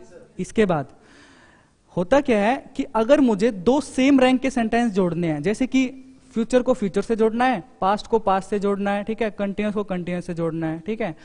तो मैं केवल और केवल फ़ैन बॉय से जोड़ सकता हूँ सेम रैंक के, ठीक है? मतलब वाइस वर्षा ये सभी जो होते हैं, ये जोड़ पाते हैं, इनके अंदर कैपेसिटी होती है, ये कैपेबल होते हैं सेम रैंक के सेंटेंसेस को जोड़ने के। इनके साथ ऐसा नहीं होता, ठीक है? अगर तुम ये याद रख पाए तो केवल अप्लाई कर दो क्या? देखा कि कंजक्शन क्या है? बिफोर है, इनसे अलग है, ठीक है? लेकिन यहाँ पे जो लिखे गए दो सेम रैंक लिखे गए हैं फ्यूचर फ्यूचर दोनों सेम है, ठीक है? जबकि मैंने क्या सीखा? केवल इनमें से एक होना चाहिए जो सेम रैंक का जोड़ सकता है। ये तो इनमें से नहीं है बिफोर तो इसका मतलब जो इसके बाद है फ्यूचर का इस्तेमाल नहीं होता विल काट दो। अब तुम याद रखना अपनी मर्ज़ी से किसी भी तरीके से। क्या? बिफोर आफ्टर ये सभी देखो इफ़ अनलेस इनके बाद में विल चल दिखा, वो दिखाई दे, काट दो सेंटेंस के अंदर से, ठीक है? इस्तेमाल नहीं होता, ठीक है? लेकिन ये याद रखना, केवल इनके साथ लिखे गए क्लोज के अंदर मतलब इनके बाद ये क्लोज जो इसके साथ शुरू हुआ है, सिर्फ़ इसमें इस्तेमाल नहीं होगा, इससे पहले वाले में व्हील शल का इस्तेमाल हो सकता है, ठीक है? अब आगे बढ़ते हैं।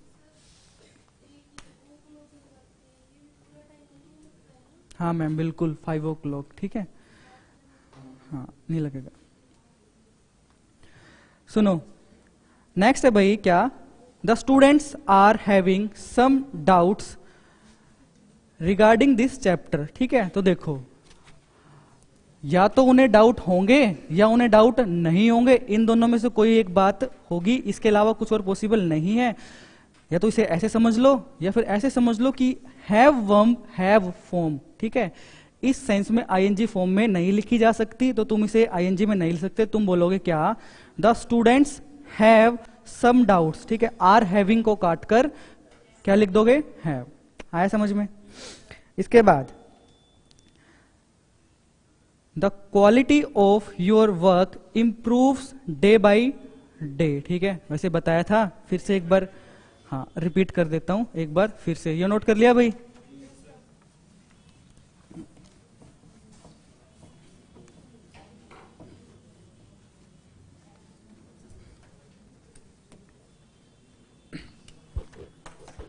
देखो, किसी भी चीज़ के अंदर अगर कोई चेंज होता है, ठीक है, वो चेंज दो प्रकार से हो सकता है, या तो धीरे धीरे वो चेंज हो रहा हो या फिर एकदम से चेंज हो जाए, ठीक है? वो चेंज या तो इंस्टेंट हो सकता है। इंस्टेंट का मतलब होता है सडन, ठीक है, सडनली, एकदम से वो चेंज हो जाए, या फिर वो बहुत स्लो स्लो चेंज हो। हाँ ग्रेजुअली। ठीक है? देखा होगा, हमारे आस पड़ोस भी दोस्तों को, ठीक है?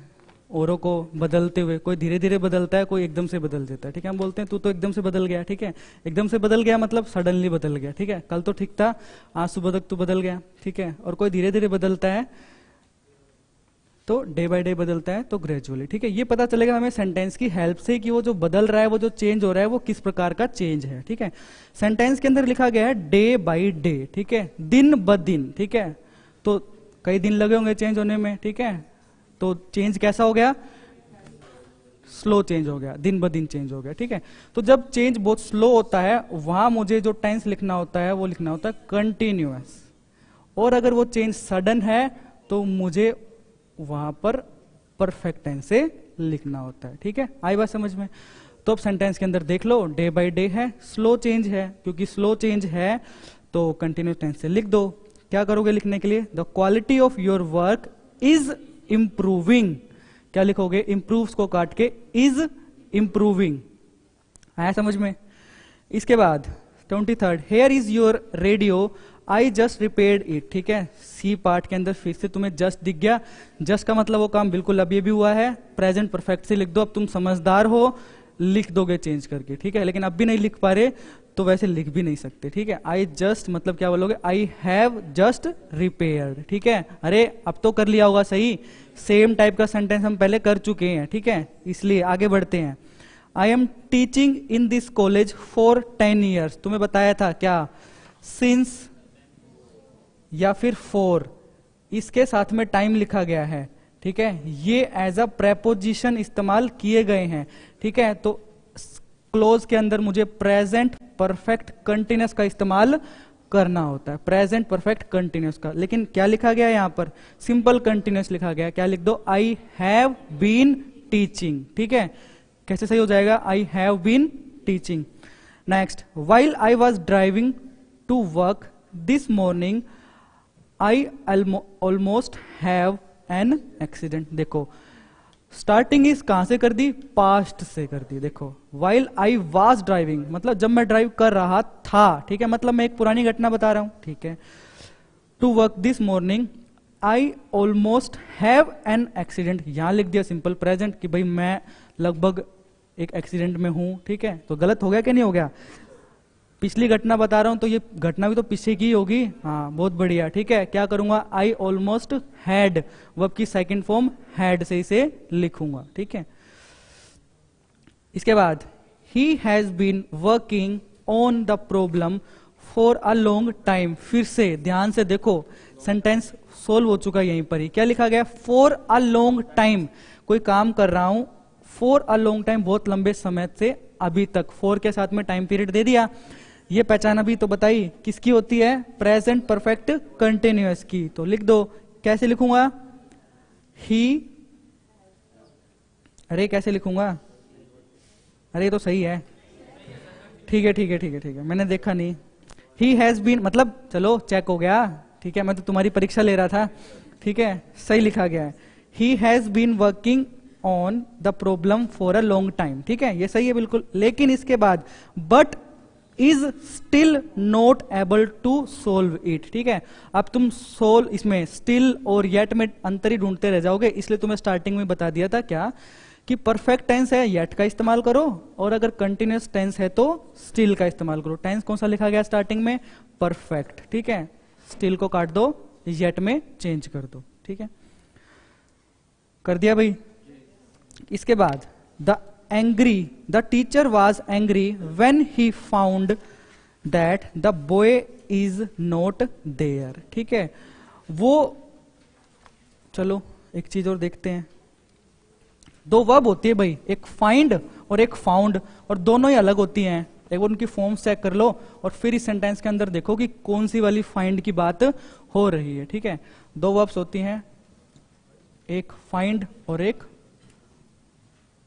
फाउंड ठीक है? अगर इस फाइंड वर्ब की बात करूँ तो सेकंड फॉर्म इसकी रहती है फाउंड थर्ड फॉर्म भी इसकी क्या रहती है? फाउंड ही, ठीक है? इस फाउंड वर्ब की बात करूँ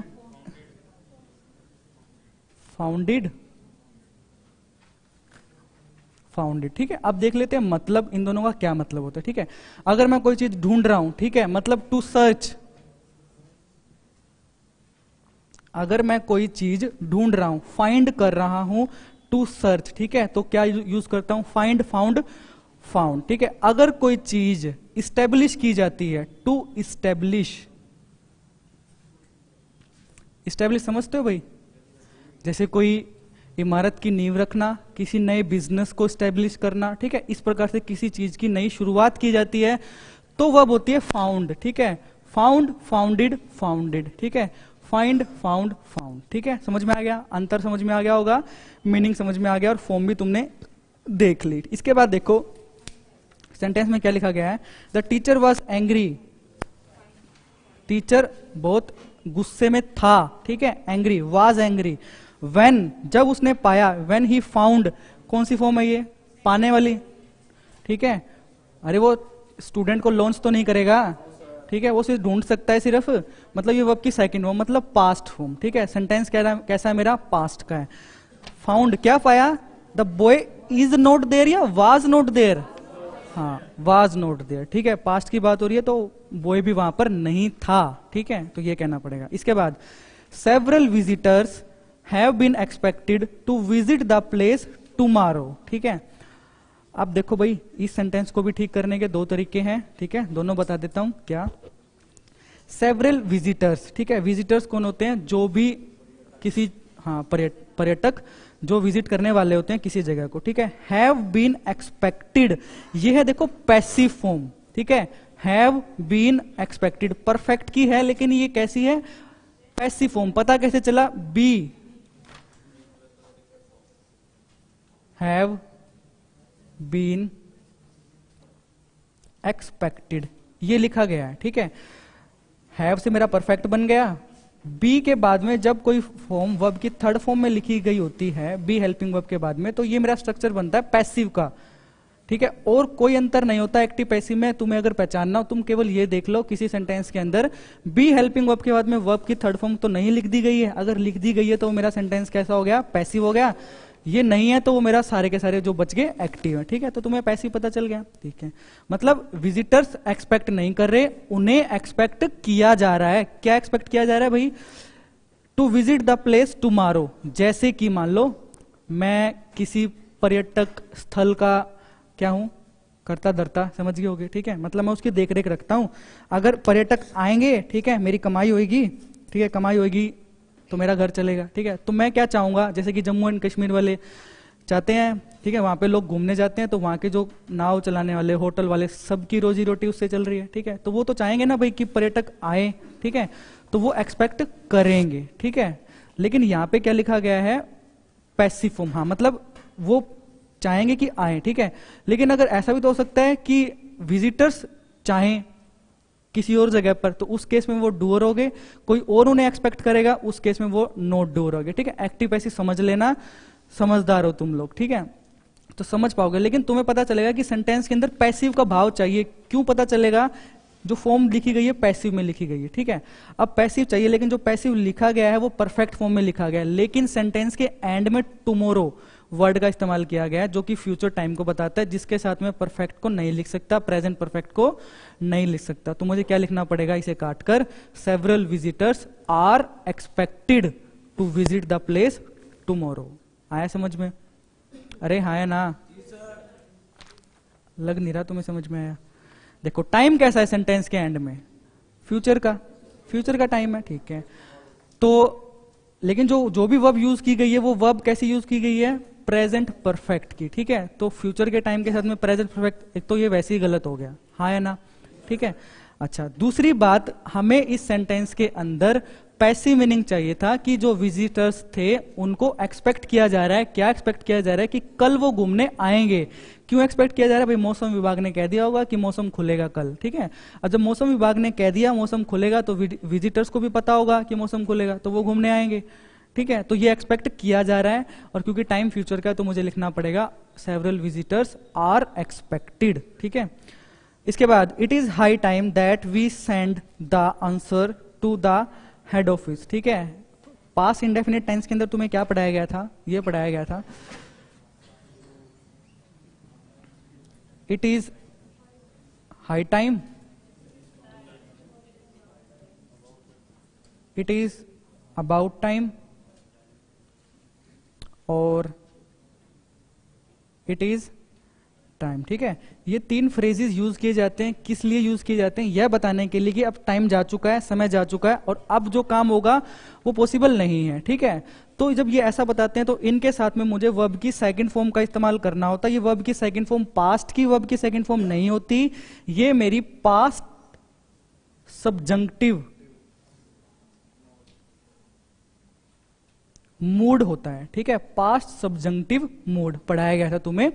अगर क्लास लगाई हो तो ठीक है? पास्ट सब्जेक्टिव मूड होता है। नहीं समझ में आया, कोई बात नहीं। इनके साथ में तुम्हें वर्ब की सेकंड फॉर्म का इस्तेमाल करना ये याद रख लेना, ठीक है? तो कर दो इस्तेमाल। It is high time that we sent verb की सेकंड फॉर्म क्या होती है भाई? सेंट बढ़िया। इसके बाद you are practising violin for the last one year but you show no improvement whatsoever क्या करोगे भाई? देखो। बी पार्ट में देखो फोर के साथ में टाइम पीरियड लिखा गया है, ठीक है? मतलब तुम सीख रहे हो वॉयलिन को चलाना या बजाना, जो भी करते हैं, ठीक है? कब से सीख रहे हो? पिछले एक साल से for the last one year ठीक है? टाइम पीरियड लिखा गया है, ठीक है? तो जब फोर के साथ में टाइम पीरियड लिखता है तो टेंस कैसा इस्तेमाल करते हैं? प्रेजेंट परफेक्ट कंटिन्यूस कर दो फिर इस्तेमाल। You have been practising violin for the last one year आया समझ में? इसके बाद तीस हो गए। Thirty first before she died the daughter of Andrew Jackson who lives in the family mansion use to take tourist through her home ठीक है? अच्छा अब एक मुझे एक बात बताओ। बी पार्ट के अंदर लिखा गया है क्या? Who lives in the family ठीक है? ये जो हु है, ये कौन है? किसके बारे में बात कर रही है? पता लगा पाओगे? ये रिलेटिव प्रोनाउन है हु और ये जो हु है ये बात हो रही है किसकी? उसकी बेटी के बारे में बात हो रही है ठीक है? अब एक बात बता, एक और बात देखो। सेंटेंस के स्टार्टिंग में क्या लिख दिया? बिफोर शी डाइड वो मर चुकी है ठीक है? और सेकंड पार्ट में लिख दिया शी लिव्स मतलब वो ज़िंदा है। तो क्या ये सेंसिबल है? नहीं मतलब जिसके बारे में बात कर रहे हैं वो मर चुकी है ठीक है? तो वो मर चुकी है तो ये ज़रूर जो बात है वो पास्ट की रही होगी। ठीक है तो मुझे हु लिव्ड बोलना पड़ेगा। सेंटेंस के अंदर टेंस में मुझे पास्ट का ही तो लिखना पड़ेगा, क्योंकि वो मर चुकी है, पता कैसे चला? स्टार्टिंग में तो लिख रखा है बिफोर शी डाइड आया समझ में सभी को? ये जो हु वर्ड है रिलेटिव प्रोनाउन ये बताता है उसकी डॉटर के बारे में। और जो डॉटर है, वो मर चुकी है तो लिव्स प्रेजेंट का कोई भी टेंस में लिख कैसे सकता हूँ? नहीं लिख सकता। प्रेजेंट का टेंस लिख देने का मतलब है, वो ज़िंदा है, जबकि स्टार्टिंग में बता दिया वो मर चुकी है, ठीक है। इसके बाद 32 when the race was over, it appeared that michael had ran, ठीक है? अब एक बात बताओ, एक वर्ब होती है भाई, क्या? रन अगली क्या होती है? ये या फिर आर एन अरे, कौन सी होती है? अच्छा बी पार्ट में जो लिखा गया हैड के साथ में, मैंने बताया था क्या? अगर कोई बी हैव या फिर हैव की फॉर्म है, उसके बाद में वर्ब की थर्ड फॉर्म का इस्तेमाल होता है, ठीक है? हैड के साथ में क्या लिखा गया है? गलत हो गया कि नहीं हो गया? ठीक है? थर्ड फॉर्म में चेंज कर दो, ठीक है? आर एन जो रैन है, उसको क्या? रन बना दो, लेकिन ये रन जो होगा थर्ड फॉर्म होगा, याद रखना, ठीक है? इसके बाद इन अ वेरी हर्ष टोन हर्ष जो होता है वर्ड हर्ष इसका क्या मतलब होता है? खुशी। अरे, खुशी होता है क्या मतलब? इन अ वेरी हर्ष आगे क्लियर हो जाएगा। In a very harsh tone he shouted at he servants ठीक है? And told them that he does not need their service कौन होगा जो खुशी से बोलेगा अपने नौकरों को कि, जा, भाग जा, मुझे तुम्हारी सर्विस की ज़रूरत नहीं है। ठीक है? उल्टा वर्ड बोल रहे हो। हर्ष का मतलब दुखी नहीं, गुस्से में बोलो, ठीक है? ठीक है? डांटते हुए फटकारते हुए एक सेंस में ठीक है? खराब सेंस में। अच्छा इसके बाद देखो अब देखते हैं सेंटेंस को ठीक कैसे करना है। In a very higher tone ठीक है? बहुत खराब टोन में बोला क्या? ही शाउटेड वो चिल्लाया उसके सर्वेंट्स पर ठीक है? एंड टोल्ड देम और उन्होंने उसको, उसको क्या बोला? दैट ही डज नॉट उसे नहीं चाहिए नहीं चाहिए थी। सेंटेंस की शुरुआत पास से हुई है ठीक है? पूरा टेंस जो मेरा पास्ट में चल रहा है सेंटेंस पास्ट में चल रहा है। तो ये वाक्य भी पास्ट में ही रहेगा। He didn't need their service उसने ये बोला था क्या? कि उसे उसकी सर्विस नहीं चाहिए थी। तो तुम्हें सारा का सारा वाक्य पास्ट में ही रखना पड़ेगा। डस चेंज कर दो किसमें? डिडंट में। बढ़िया। इसके बाद since a very long time ठीक है? अगर बात करूँ सेंटेंस को सही करने की तो यहीं से पता चल गया कि सेंटेंस गलत है। एक बार फिर भी तुम्हारे लिए पढ़ देता हूँ पूरा sentence since a very long time this city has been prosperous ठीक है? पहली बात सिंस या फोर होता है, उसके साथ में टाइम लिखा गया होता है तो मुझे उसके अंदर प्रेजेंट परफेक्ट कंटिन्यूस का इस्तेमाल करना है। पहली बात, अगर वब की आईएनजी नहीं बना सकते तो प्रेजेंट परफेक्ट का इस्तेमाल करना है। ठीक है? तो यहाँ पर आईएनजी नहीं बना सकते, इसलिए प्रेजेंट परफेक्ट का इस्तेमाल किया गया है। अब देखो, लेकिन दूसरी बात, कई बार एरर आ जाता है सिंस और फोर से रिलेटेड ठीक है? फोर के साथ में जो टाइम लिखना है, वो लिखते हैं ड्यूरेशन ऑफ़ टाइम बताया गया था तुम्हें। मतलब एक लंबी चलने वाली घटना, ठीक है? टाइम लंबा इंटरवल ठीक है? सीन्स के साथ में जो टाइम लिखते हैं, वो लिखते हैं पॉइंट ऑफ़ टाइम जो एक बिंदु हो, छह बजे, पिछले दिन, इस प्रकार से, ठीक है? अब तुम्हें बता लगाने की भी ज़रूरत नहीं है कि जो टाइम है, ये लंबा है या फिर पॉइंट ऑफ़ टाइम है, खुद ही लिखा गया है। Since a very long time मतलब बहुत लंबे टाइम से। तो क्या इस्तेमाल होगा? सिंस का या फोर का? फोर का, बढ़िया। सीन्स को चेंज कर दो ए पार्ट में फोर से। Four a very long time किसमें मैम बिल्कुल आएगा। बिल्कुल आएगा। मेन वर्ब है वो। बीन क्या है पर यहाँ पे? कोई बताएगा? बीन हाँ। मेन वर्ब है। बढ़िया। जिसने भी जवाब दिया, बहुत बढ़िया। बीन यहाँ पे मेन वर्ब है। ये पैसिव नहीं बना रही। प्रोस्पेरस एडजेक्टिव है तुम्हारा। ठीक है? Next thirty five I didn't know that when she was coming ठीक है? अब सुनो भाई एक बात। एक और छोटी सी बात। सीख पाओगे? रब कर दू भाई ये सब।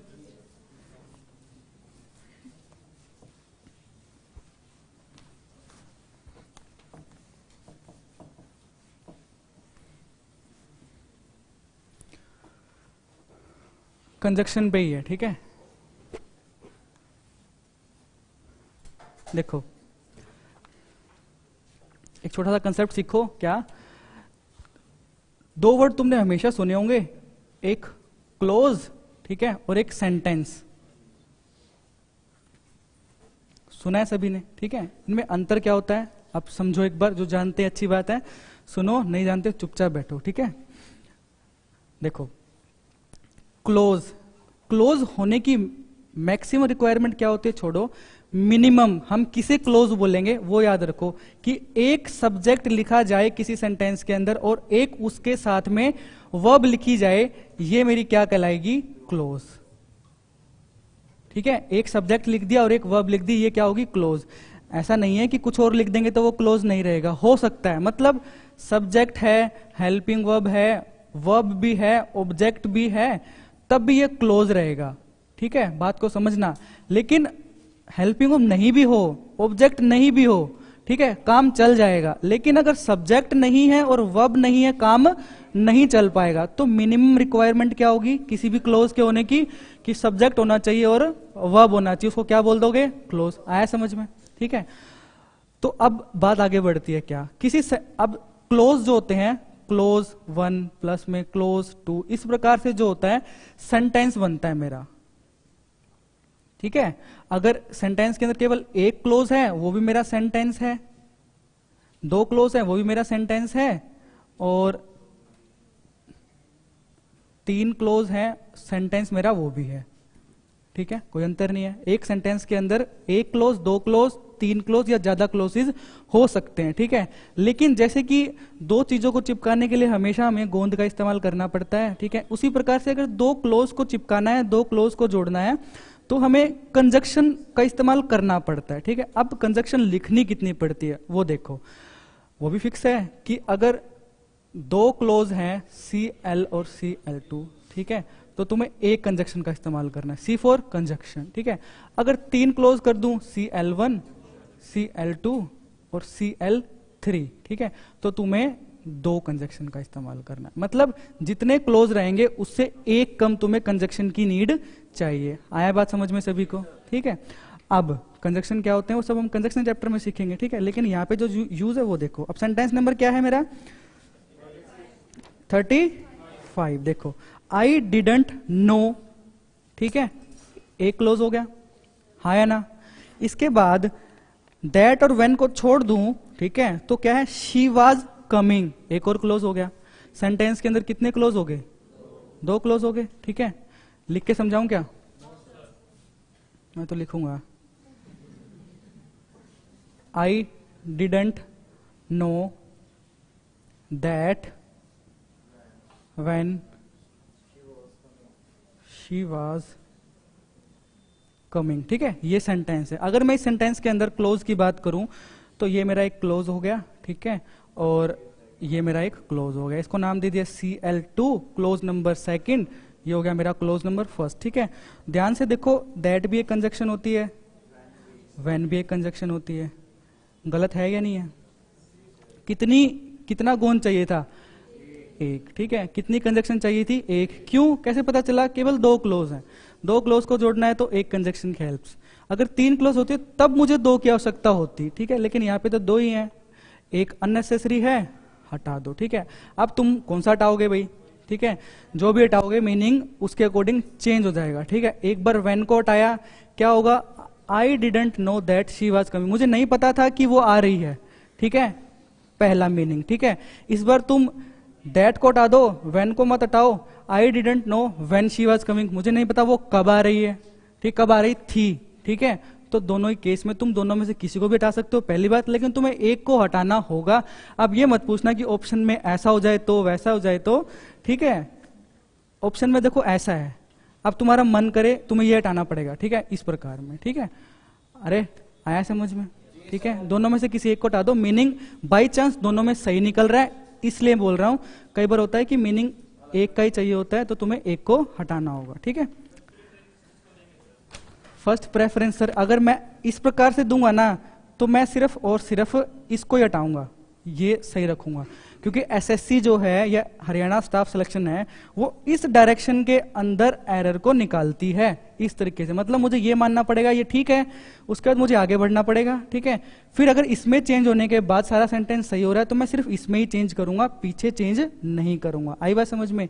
लेफ़्ट से राइट की तरफ़ एरर निकाला जाता है। याद रखना इस चीज़ को, ठीक है? प्रेफरेंस तुम्हारे अकॉर्डिंग नहीं, या मेरे अकॉर्डिंग नहीं जो मैं बताऊँगा। एसएससी के अकॉर्डिंग हाँ। लेफ़्ट से राइट के अकॉर्डिंग ठीक है? अब डिपेंड करता है कि क्वेश्चन इंप्रूवमेंट में आया है एरर में आया है फिलअप में आया है, तुम्हें पता चल जाएगा। कहा आगे भाई? 36 since 1976 the prices soared in an unrelenting manner ठीक है? सोर का मतलब क्या होता है? उतार चढ़ाव, ऊपर नीचे होना, ठीक है? बढ़ना, ठीक है?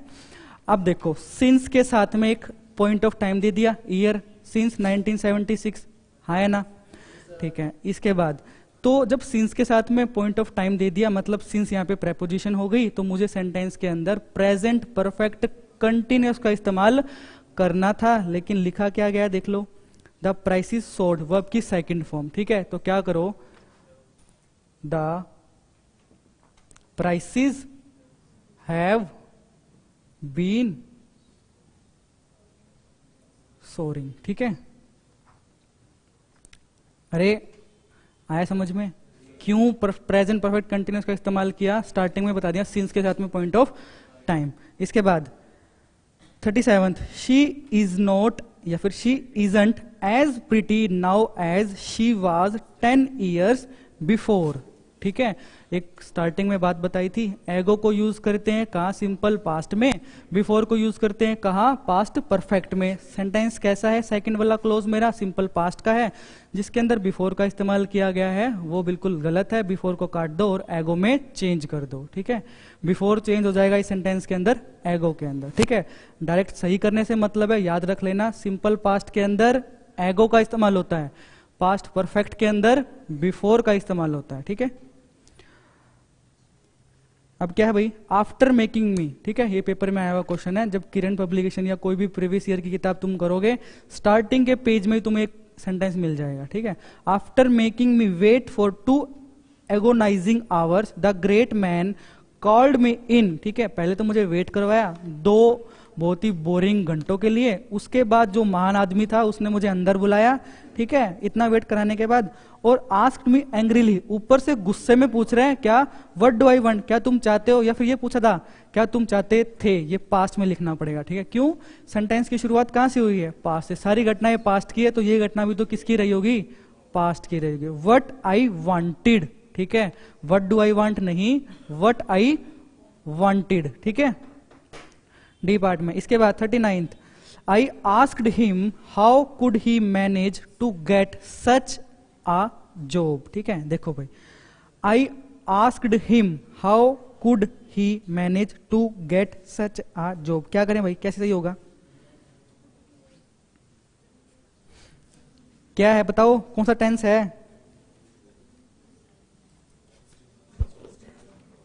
पास्ट वास्ट ही करते रहना। समझो एक और कंसेप्ट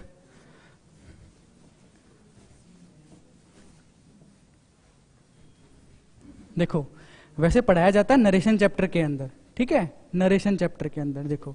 होता क्या है, अगर तो कोई क्वेश्चन पूछा गया है, ठीक है? तुम्हें फिर से बताया था?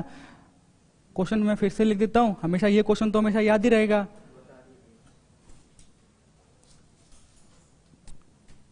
अगर तो ये क्वेश्चन मार्क है, इसका बहुत फ़र्क पड़ता है, ठीक है? कोई इंटेरोगेटिव क्वेश्चन है, उसके लास्ट में ये क्वेश्चन मार्क है। और कोई इंटेरोगेटिव सेंटेंस है, उसके लास्ट में क्वेश्चन नहीं है। बहुत फ़र्क पड़ता है इस चीज़ का। फ़र्क क्या पड़ता है? समझ लेते हैं, ठीक है? अगर तो क्वेश्चन है, इसका मतलब वो क्वेश्चन पूछा जा रहा है तो स्ट्रक्चर यही रहेगा। क्या? डब्ल्यू एच परिवार का सदस्य है। हेल्पिंग वर्ब उसके बाद सब्जेक्ट उसके बाद मेन वर्ब ठीक है? ये स्ट्रक्चर रहेगा, ठीक है? लेकिन अगर ये क्वेश्चन मार्क नहीं है तो ये स्ट्रक्चर बदल जाता है। फिर क्या रहता है? डब्ल्यू एच परिवार का सदस्य सब्जेक्ट पहले आ जाता है। फिर हेल्पिंग वर्ब चला जाता है, उसके बाद अगर है तो फिर मेन वर्ब इस प्रकार से स्ट्रक्चर चेंज हो जाता है। ये हम सीखते हैं नरेशन के अंदर, ठीक है? अभी तुम्हें नहीं कराया गया है तो चिंतित मत हो, करा दिया जाएगा, ठीक है? अब बस इतना तो पता लगा लोगे कि क्वेश्चन मार्क है या नहीं है, ठीक है? नरेशन चेंज कर दिया गया या नहीं कर दिया गया वो पता चलता है क्वेश्चन मार्क से, ठीक है? देखो, इस सेंटेंस के अंदर क्या है? आई आस्क हिम मैंने उससे पूछा था। क्या पूछा था? How could he manage to get such a job इतनी अच्छी जॉब पाने के लिए उसने क्या किया? ठीक है, मैंने उससे ये पूछा था, क्या क्वेश्चन मार्क है? तो क्या ये क्वेश्चन है? क्वेश्चन नहीं है। क्वेश्चन नहीं है तो स्ट्रक्चर भी चेंज हो जाएगा। स्ट्रक्चर क्या करना पड़ेगा तुम्हें? हाउ ही कुड मैनेज पहले सब्जेक्ट उसके बाद में हेल्पिंग वर्ब आया समझ में? अरे, आया समझ में? उतार लेना। नरेशन में जब चेंज करते हैं तो क्वेश्चन मार्क को हटाकर हमारा जो इंटेरोगेटिव का स्ट्रक्चर होता है, उसको चेंज करके इस प्रकार से लिखा जाता है। ठीक है? इसके बाद fortieth the boy told his mother that he would agree to go to school only if she takes him by cab same चीज़, देखो नरेशन का एक है। कंसेप्ट ये है कि सेंटेंस अगर मेरा पास्ट में चल रहा होगा स्टार्टिंग पास्ट से होगी रिपोर्टेड वर्ब मेरी अगर पास्ट की होगी तो बाकी सब भी मेरा पास्ट का रहेगा, ठीक है? तो देखो the boy told his mother past तरह जाएँगे, ठीक है? उसके बाद देखेंगे कि किसके हाथ में परफेक्ट लिखूं, किसके साथ में सिंपल पास्ट लिखूं, ठीक है? और जो अगर कोई समझदार मेरी तरह, ठीक है, ये देखना चाहें कि दो काम हुए हैं पास्ट के अंदर, जो भी पहले हुआ होगा उसको परफेक्ट में लिख दो, जो बाद में हुआ उसको सिंपल पास से लिख दो। अब तुम समझदार हो, देखो कौन सा काम पहले हुआ होगा। देखो, उसने स्टेशन पर पहुंचकर पाया कि ट्रेन जा चुकी थी। ठीक है, पहले ट्रेन चली गई होगी, तभी वो उसने पहुँच के ये देखा होगा रियलाइज़ किया होगा तो जब ट्रेन पहले ही चली गई होगी तो क्या लिखोगे द ट्रेन हैड लेफ़्ट जो भी काम पहले होता है पास्ट के अंदर, उसको परफेक्ट से लिखते हैं। परफेक्ट को लिखने का तरीका होता है हैड के साथ में वर्ब की थर्ड फॉर्म बढ़िया। इसके बाद, थोड़ी स्पीड कर लो भाई अब। बारह मिनट बचे हैं। आठ एग्ज़ाम्पल रह गए। He has lived here since many years क्या आगे पढ़ने की ज़रूरत है? ठीक है। He has lived here for many years. Many years एक जो टाइम है, ये ड्यूरेशन ऑफ़ टाइम है, पॉइंट ऑफ़ टाइम के साथ में सिंस का इस्तेमाल, ड्यूरेशन ऑफ़ टाइम के साथ में फोर का इस्तेमाल। हाँ है ना? अच्छा। Last night the residents had assembled to discuss the occurrence of that sorry theft in the locality ठीक है? लास्ट नाइट ठीक है? टाइम कैसा है? पास्ट का। लेकिन देखो, लिखा क्या गया है? रेजिडेंट हैड असेंबल ठीक है? लास्ट नाइट हो एगो हो येस्टरडे हो, ठीक है? या कोई पास का टाइम हो, इसके साथ में वर्ब की सेकंड फॉर्म का इस्तेमाल करते हैं। लेकिन ये तो हेड के साथ में वर्ब की थर्ड फॉर्म लिखी गई है, जो कि बिल्कुल गलत है। हेड काट दो। सेकंड फॉर्म भी असेंबल्ड ही होती है और थर्ड फॉर्म भी असेंबल्ड होती है, ठीक है? यहाँ पे क्या आएगी? Second form forty fourth since I changed the job I found no time to relax and enjoy my hobby ठीक है? सच है भाई, ठीक है? जब से मैंने मेरी जॉब चेंज करी है, ठीक है, मैंने पाया है कि अब मुझे रिलैक्स करने का टाइम नहीं है और अपनी जो हॉबीज हैं, जैसे कि टीवी देखना, ठीक है यूट्यूब चलाना फेसबुक चलाना व्हाट्सएप चलाना, इन सभी से मैं दूर हो गया हूँ, ठीक है? तो देखो, मैंने बताया था कि सीन्स के साथ में अगर पॉइंट ऑफ़ टाइम लिखा गया हो, वो पॉइंट ऑफ़ टाइम एक घटना भी हो सकती है, ठीक है? ये घटना ही है, ठीक है? सिंस कब से, जब से आई चेंज्ड माई जॉब मैंने कोई काम नहीं किया है, लेकिन कब से नहीं किया है? जब से मैंने जे, अपनी जॉब को चेंज किया है। तो घटना होगी। मतलब पॉइंट ऑफ़ टाइम हो गया और लिखा गया सिंस के साथ में। इसके बाद वाले क्लोज के अंदर प्रेजेंट परफेक्ट कंटिन्यूस या फिर प्रेजेंट परफेक्ट का ही इस्तेमाल मैं कर सकता हूँ। अब देखो क्या किया गया है? नहीं किया गया। तो मैं क्या करूँगा? आई हैव फाउंड ठीक है? आईएनजी नहीं बना सकता क्योंकि इस वर्ब की ही आईएनजी नहीं बन सकती, ठीक है? हा है ना? इसके बाद 45 Paul may lose his car because he didn't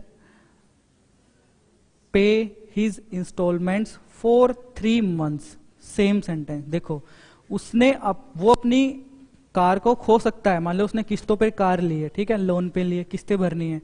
उसने अपनी आखिरी की तीन जो किस्तें हैं वो नहीं भरी है, ठीक है? या फिर तीन महीनों से उसने किस्त नहीं भरी है।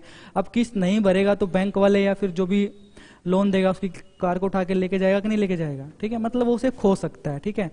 तो देखो, उसने एक काम नहीं किया है। कब से नहीं किया है? पास्ट के एक फिक्स टाइम से नहीं किया है। तीन महीनों से, ठीक है? लेकिन वो तीन महीने का जो टाइम है, वो ड्यूरेशन ऑफ़ टाइम है तो इसलिए उसे फोर के साथ में लिख दिया। बिल्कुल सही है।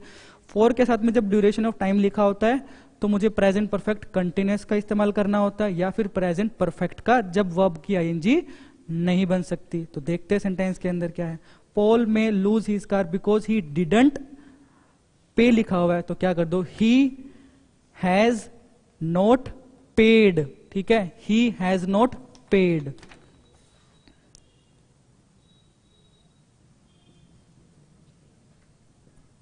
he hasn't paid verb की थर्ड फॉर्म हो जाएगी। अरे आया समझ में?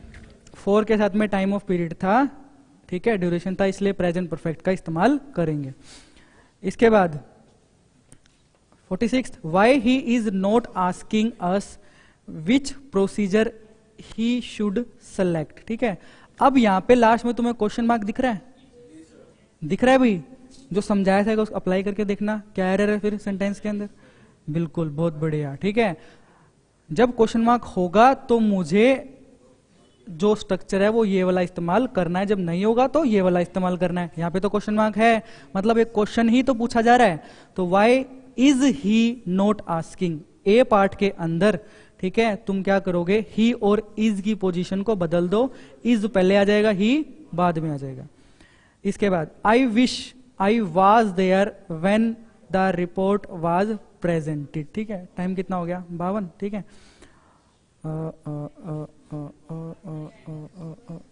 स्पीड से देखो भाई अगर जिसने किया है पास सब्जेक्टिव मूड नहीं किया है तो भी पहले बता देता हूँ स्पीड से टाइम थोड़ा कम है देखो एक छोटा सा टॉपिक रहता है जिसका नाम क्या है past subjunctive mood past subjunctive mood ठीक है? इसके अंदर जो वर्ब की फॉर्म लिखी जाती है, वो कौन सी होती है? वर्ब की सेकंड फॉर्म लिखी जाती है, ठीक है? और जो टाइप्स होती है, पता कैसे चलता है? इसके अंदर जो होते हैं, जो सेंटेंसेस अनरियल होते हैं मतलब अनरियलिटी ठीक है? या फिर कोई एक्शन जो पॉसिबल नहीं है इम्प्रोबेबल है इम्प्रोबेबल एक्शन ठीक है? इस प्रकार के जो एक्शन होते हैं, वो मैं लिखता हूँ पास्ट सब्जंक्टिव मूड की हेल्प से। जैसे मैं बोलूँ आई हैव मनी तो भाई, मेरे पास पैसे हैं, मैं यही बोलूँगा आई हैव मनी सही है, ठीक है। अगर मैं बोलना चाहूँ कि मेरे पास पैसे थे तो मैं क्या बोलूँगा? आई हैड मनी यहाँ पर ये वर्ब की सेकंड फॉर्म हो गई, यहाँ पर ये वर्ब की फ़र्स्ट फॉर्म हो गई, ठीक है। लेकिन अगर मैं ऐसे बोलूँ, क्या? आई विश ठीक है? आई हैव मनी ठीक है? तो ये गलत हो जाएगा मैं इस प्रकार से नहीं कह पाऊँगा ठीक है? ऐसी घटनाएँ जो प्रोबेबल नहीं है। मैं कब बोलूँगा कि काश मेरे पास पैसे होते जब मेरे पास नहीं होंगे तभी तो बोलूँगा। मतलब मैं एक ऐसी बात बोल रहा हूँ जो कि इम्प्रोबेबल है अनरियल है इमेजनरी है ठीक है? तो जो ऐसे एक्शन होते हैं उनको वो आपकी सेकेंड फॉर्म से लिखते हैं मैं बोलूँगा आई हैड मनी उसी प्रकार से मैं बोल, बोलूँ अगर if I were a king कह लो बर्ड कह लो ठीक है? जो मैं कभी नहीं हो सकता। ये इम्पॉसिबल है। हम इन मतलब ठीक है इनप्रोबेबल है। पॉसिबल नहीं है। तो पॉसिबल नहीं है तो वर्ब की सेकंड फॉर्म से लिखता हूँ। ये एक बात और याद रखना वर्ब की सेकंड फॉर्म कौन सी? प्लूरल वाली। हमेशा। वाज नहीं। वाज भी पास्ट की फॉर्म है, लेकिन वाज नहीं। प्लूरल वाली कौन सी? वर ठीक है? हैव के केस में एक ही होती है हैड तो वही यूज़ की। अगर दो होती तो इनमें भी प्लूरल वाली का इस्तेमाल मैं करता, ठीक है? अब देखो सेंटेंस के अंदर, क्या बोल रहा है? I wish I was there wish कर रहा है, इसका मतलब वो वहाँ था तो नहीं? अरे, तभी तो मैं बोलूँगा, काश मैं वहाँ होता। ठीक है, इसका मतलब मैं वहाँ नहीं था। ठीक है मतलब कि एक अनरियल एक्शन हो गया। पास सब्जेक्टिव मूड से लिखना पड़ेगा। मैं बोलूँगा आई विश आई वर देयर ठीक है, आया समझ में? वाज को चेंज कर लो वर के अंदर। इसके बाद the report has been tabled in the parliament yesterday. Time कैसा है? पास्ट का। टेंस कौन सा यूज़ होगा? पास्ट का। पास इंडेफिनिट यस्टरडे एगो इन सब के साथ में पास इंडेफिनिट का इस्तेमाल होता है। कर दो फिर होता है तो। द रिपोर्ट हैज़ भी काट दो, बीन भी काट दो, टेबल्ड। केवल वर्ब की सेकंड फॉर्म का इस्तेमाल होगा। ए पार्ट में जो हैज़ भी है और बी भी है, दोनों ही कट हो जाएँगे, ठीक है?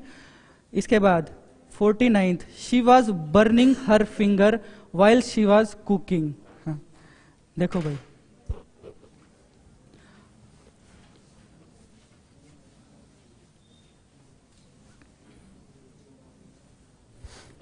दो प्रोसेसेस हैं, ठीक है? एक है बर्निंग ऑफ़ फिंगर अपनी उंगली को जला लेना। और एक है कुकिंग द फ़ूड ठीक है? ये दो प्रोसेस है, ठीक है? अब आप लोग बहुत समझदार हो, घर पे कुछ ना कुछ तो बनाया ही होगा, ठीक है? खाने पीने का, ठीक है? क्या ये दोनों एक साथ ऐसे पॉसिबल हैं? एक काम चल रहा हो, दूसरा भी चल रहा हो साथ में, ठीक है? हमेशा ऐसा ही हुआ होगा, खाना बन रहा होगा, मान लो ये तुम्हारा बर्तन है, खाना बन रहा होगा, गलती से हाथ इसको या इधर टच हो गया होगा और हाथ जल गया होगा एकदम से, ठीक है?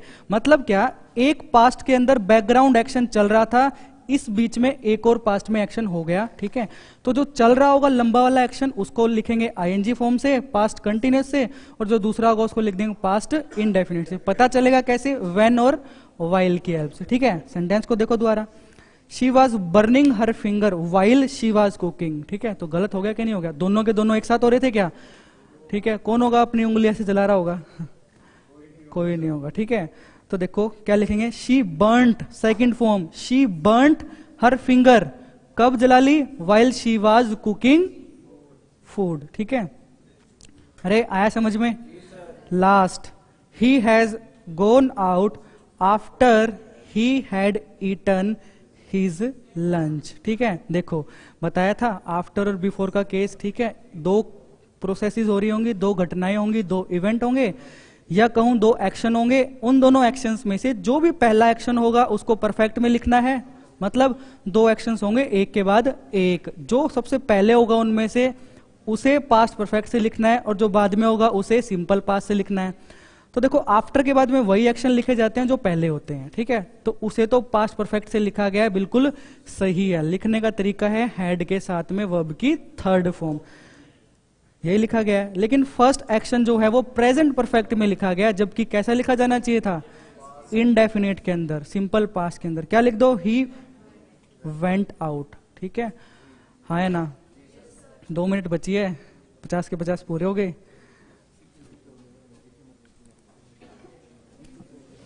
अरे, एक बात और सुनो। ठीक है? दो मिनट बची है।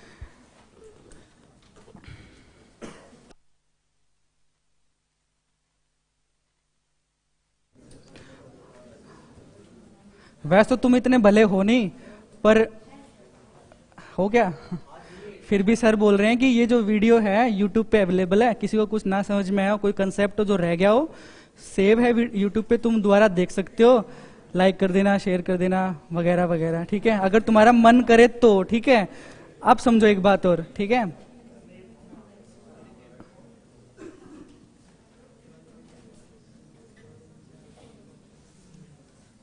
एडवर्टाइजमेंट करना तो ज़रूरी है ना?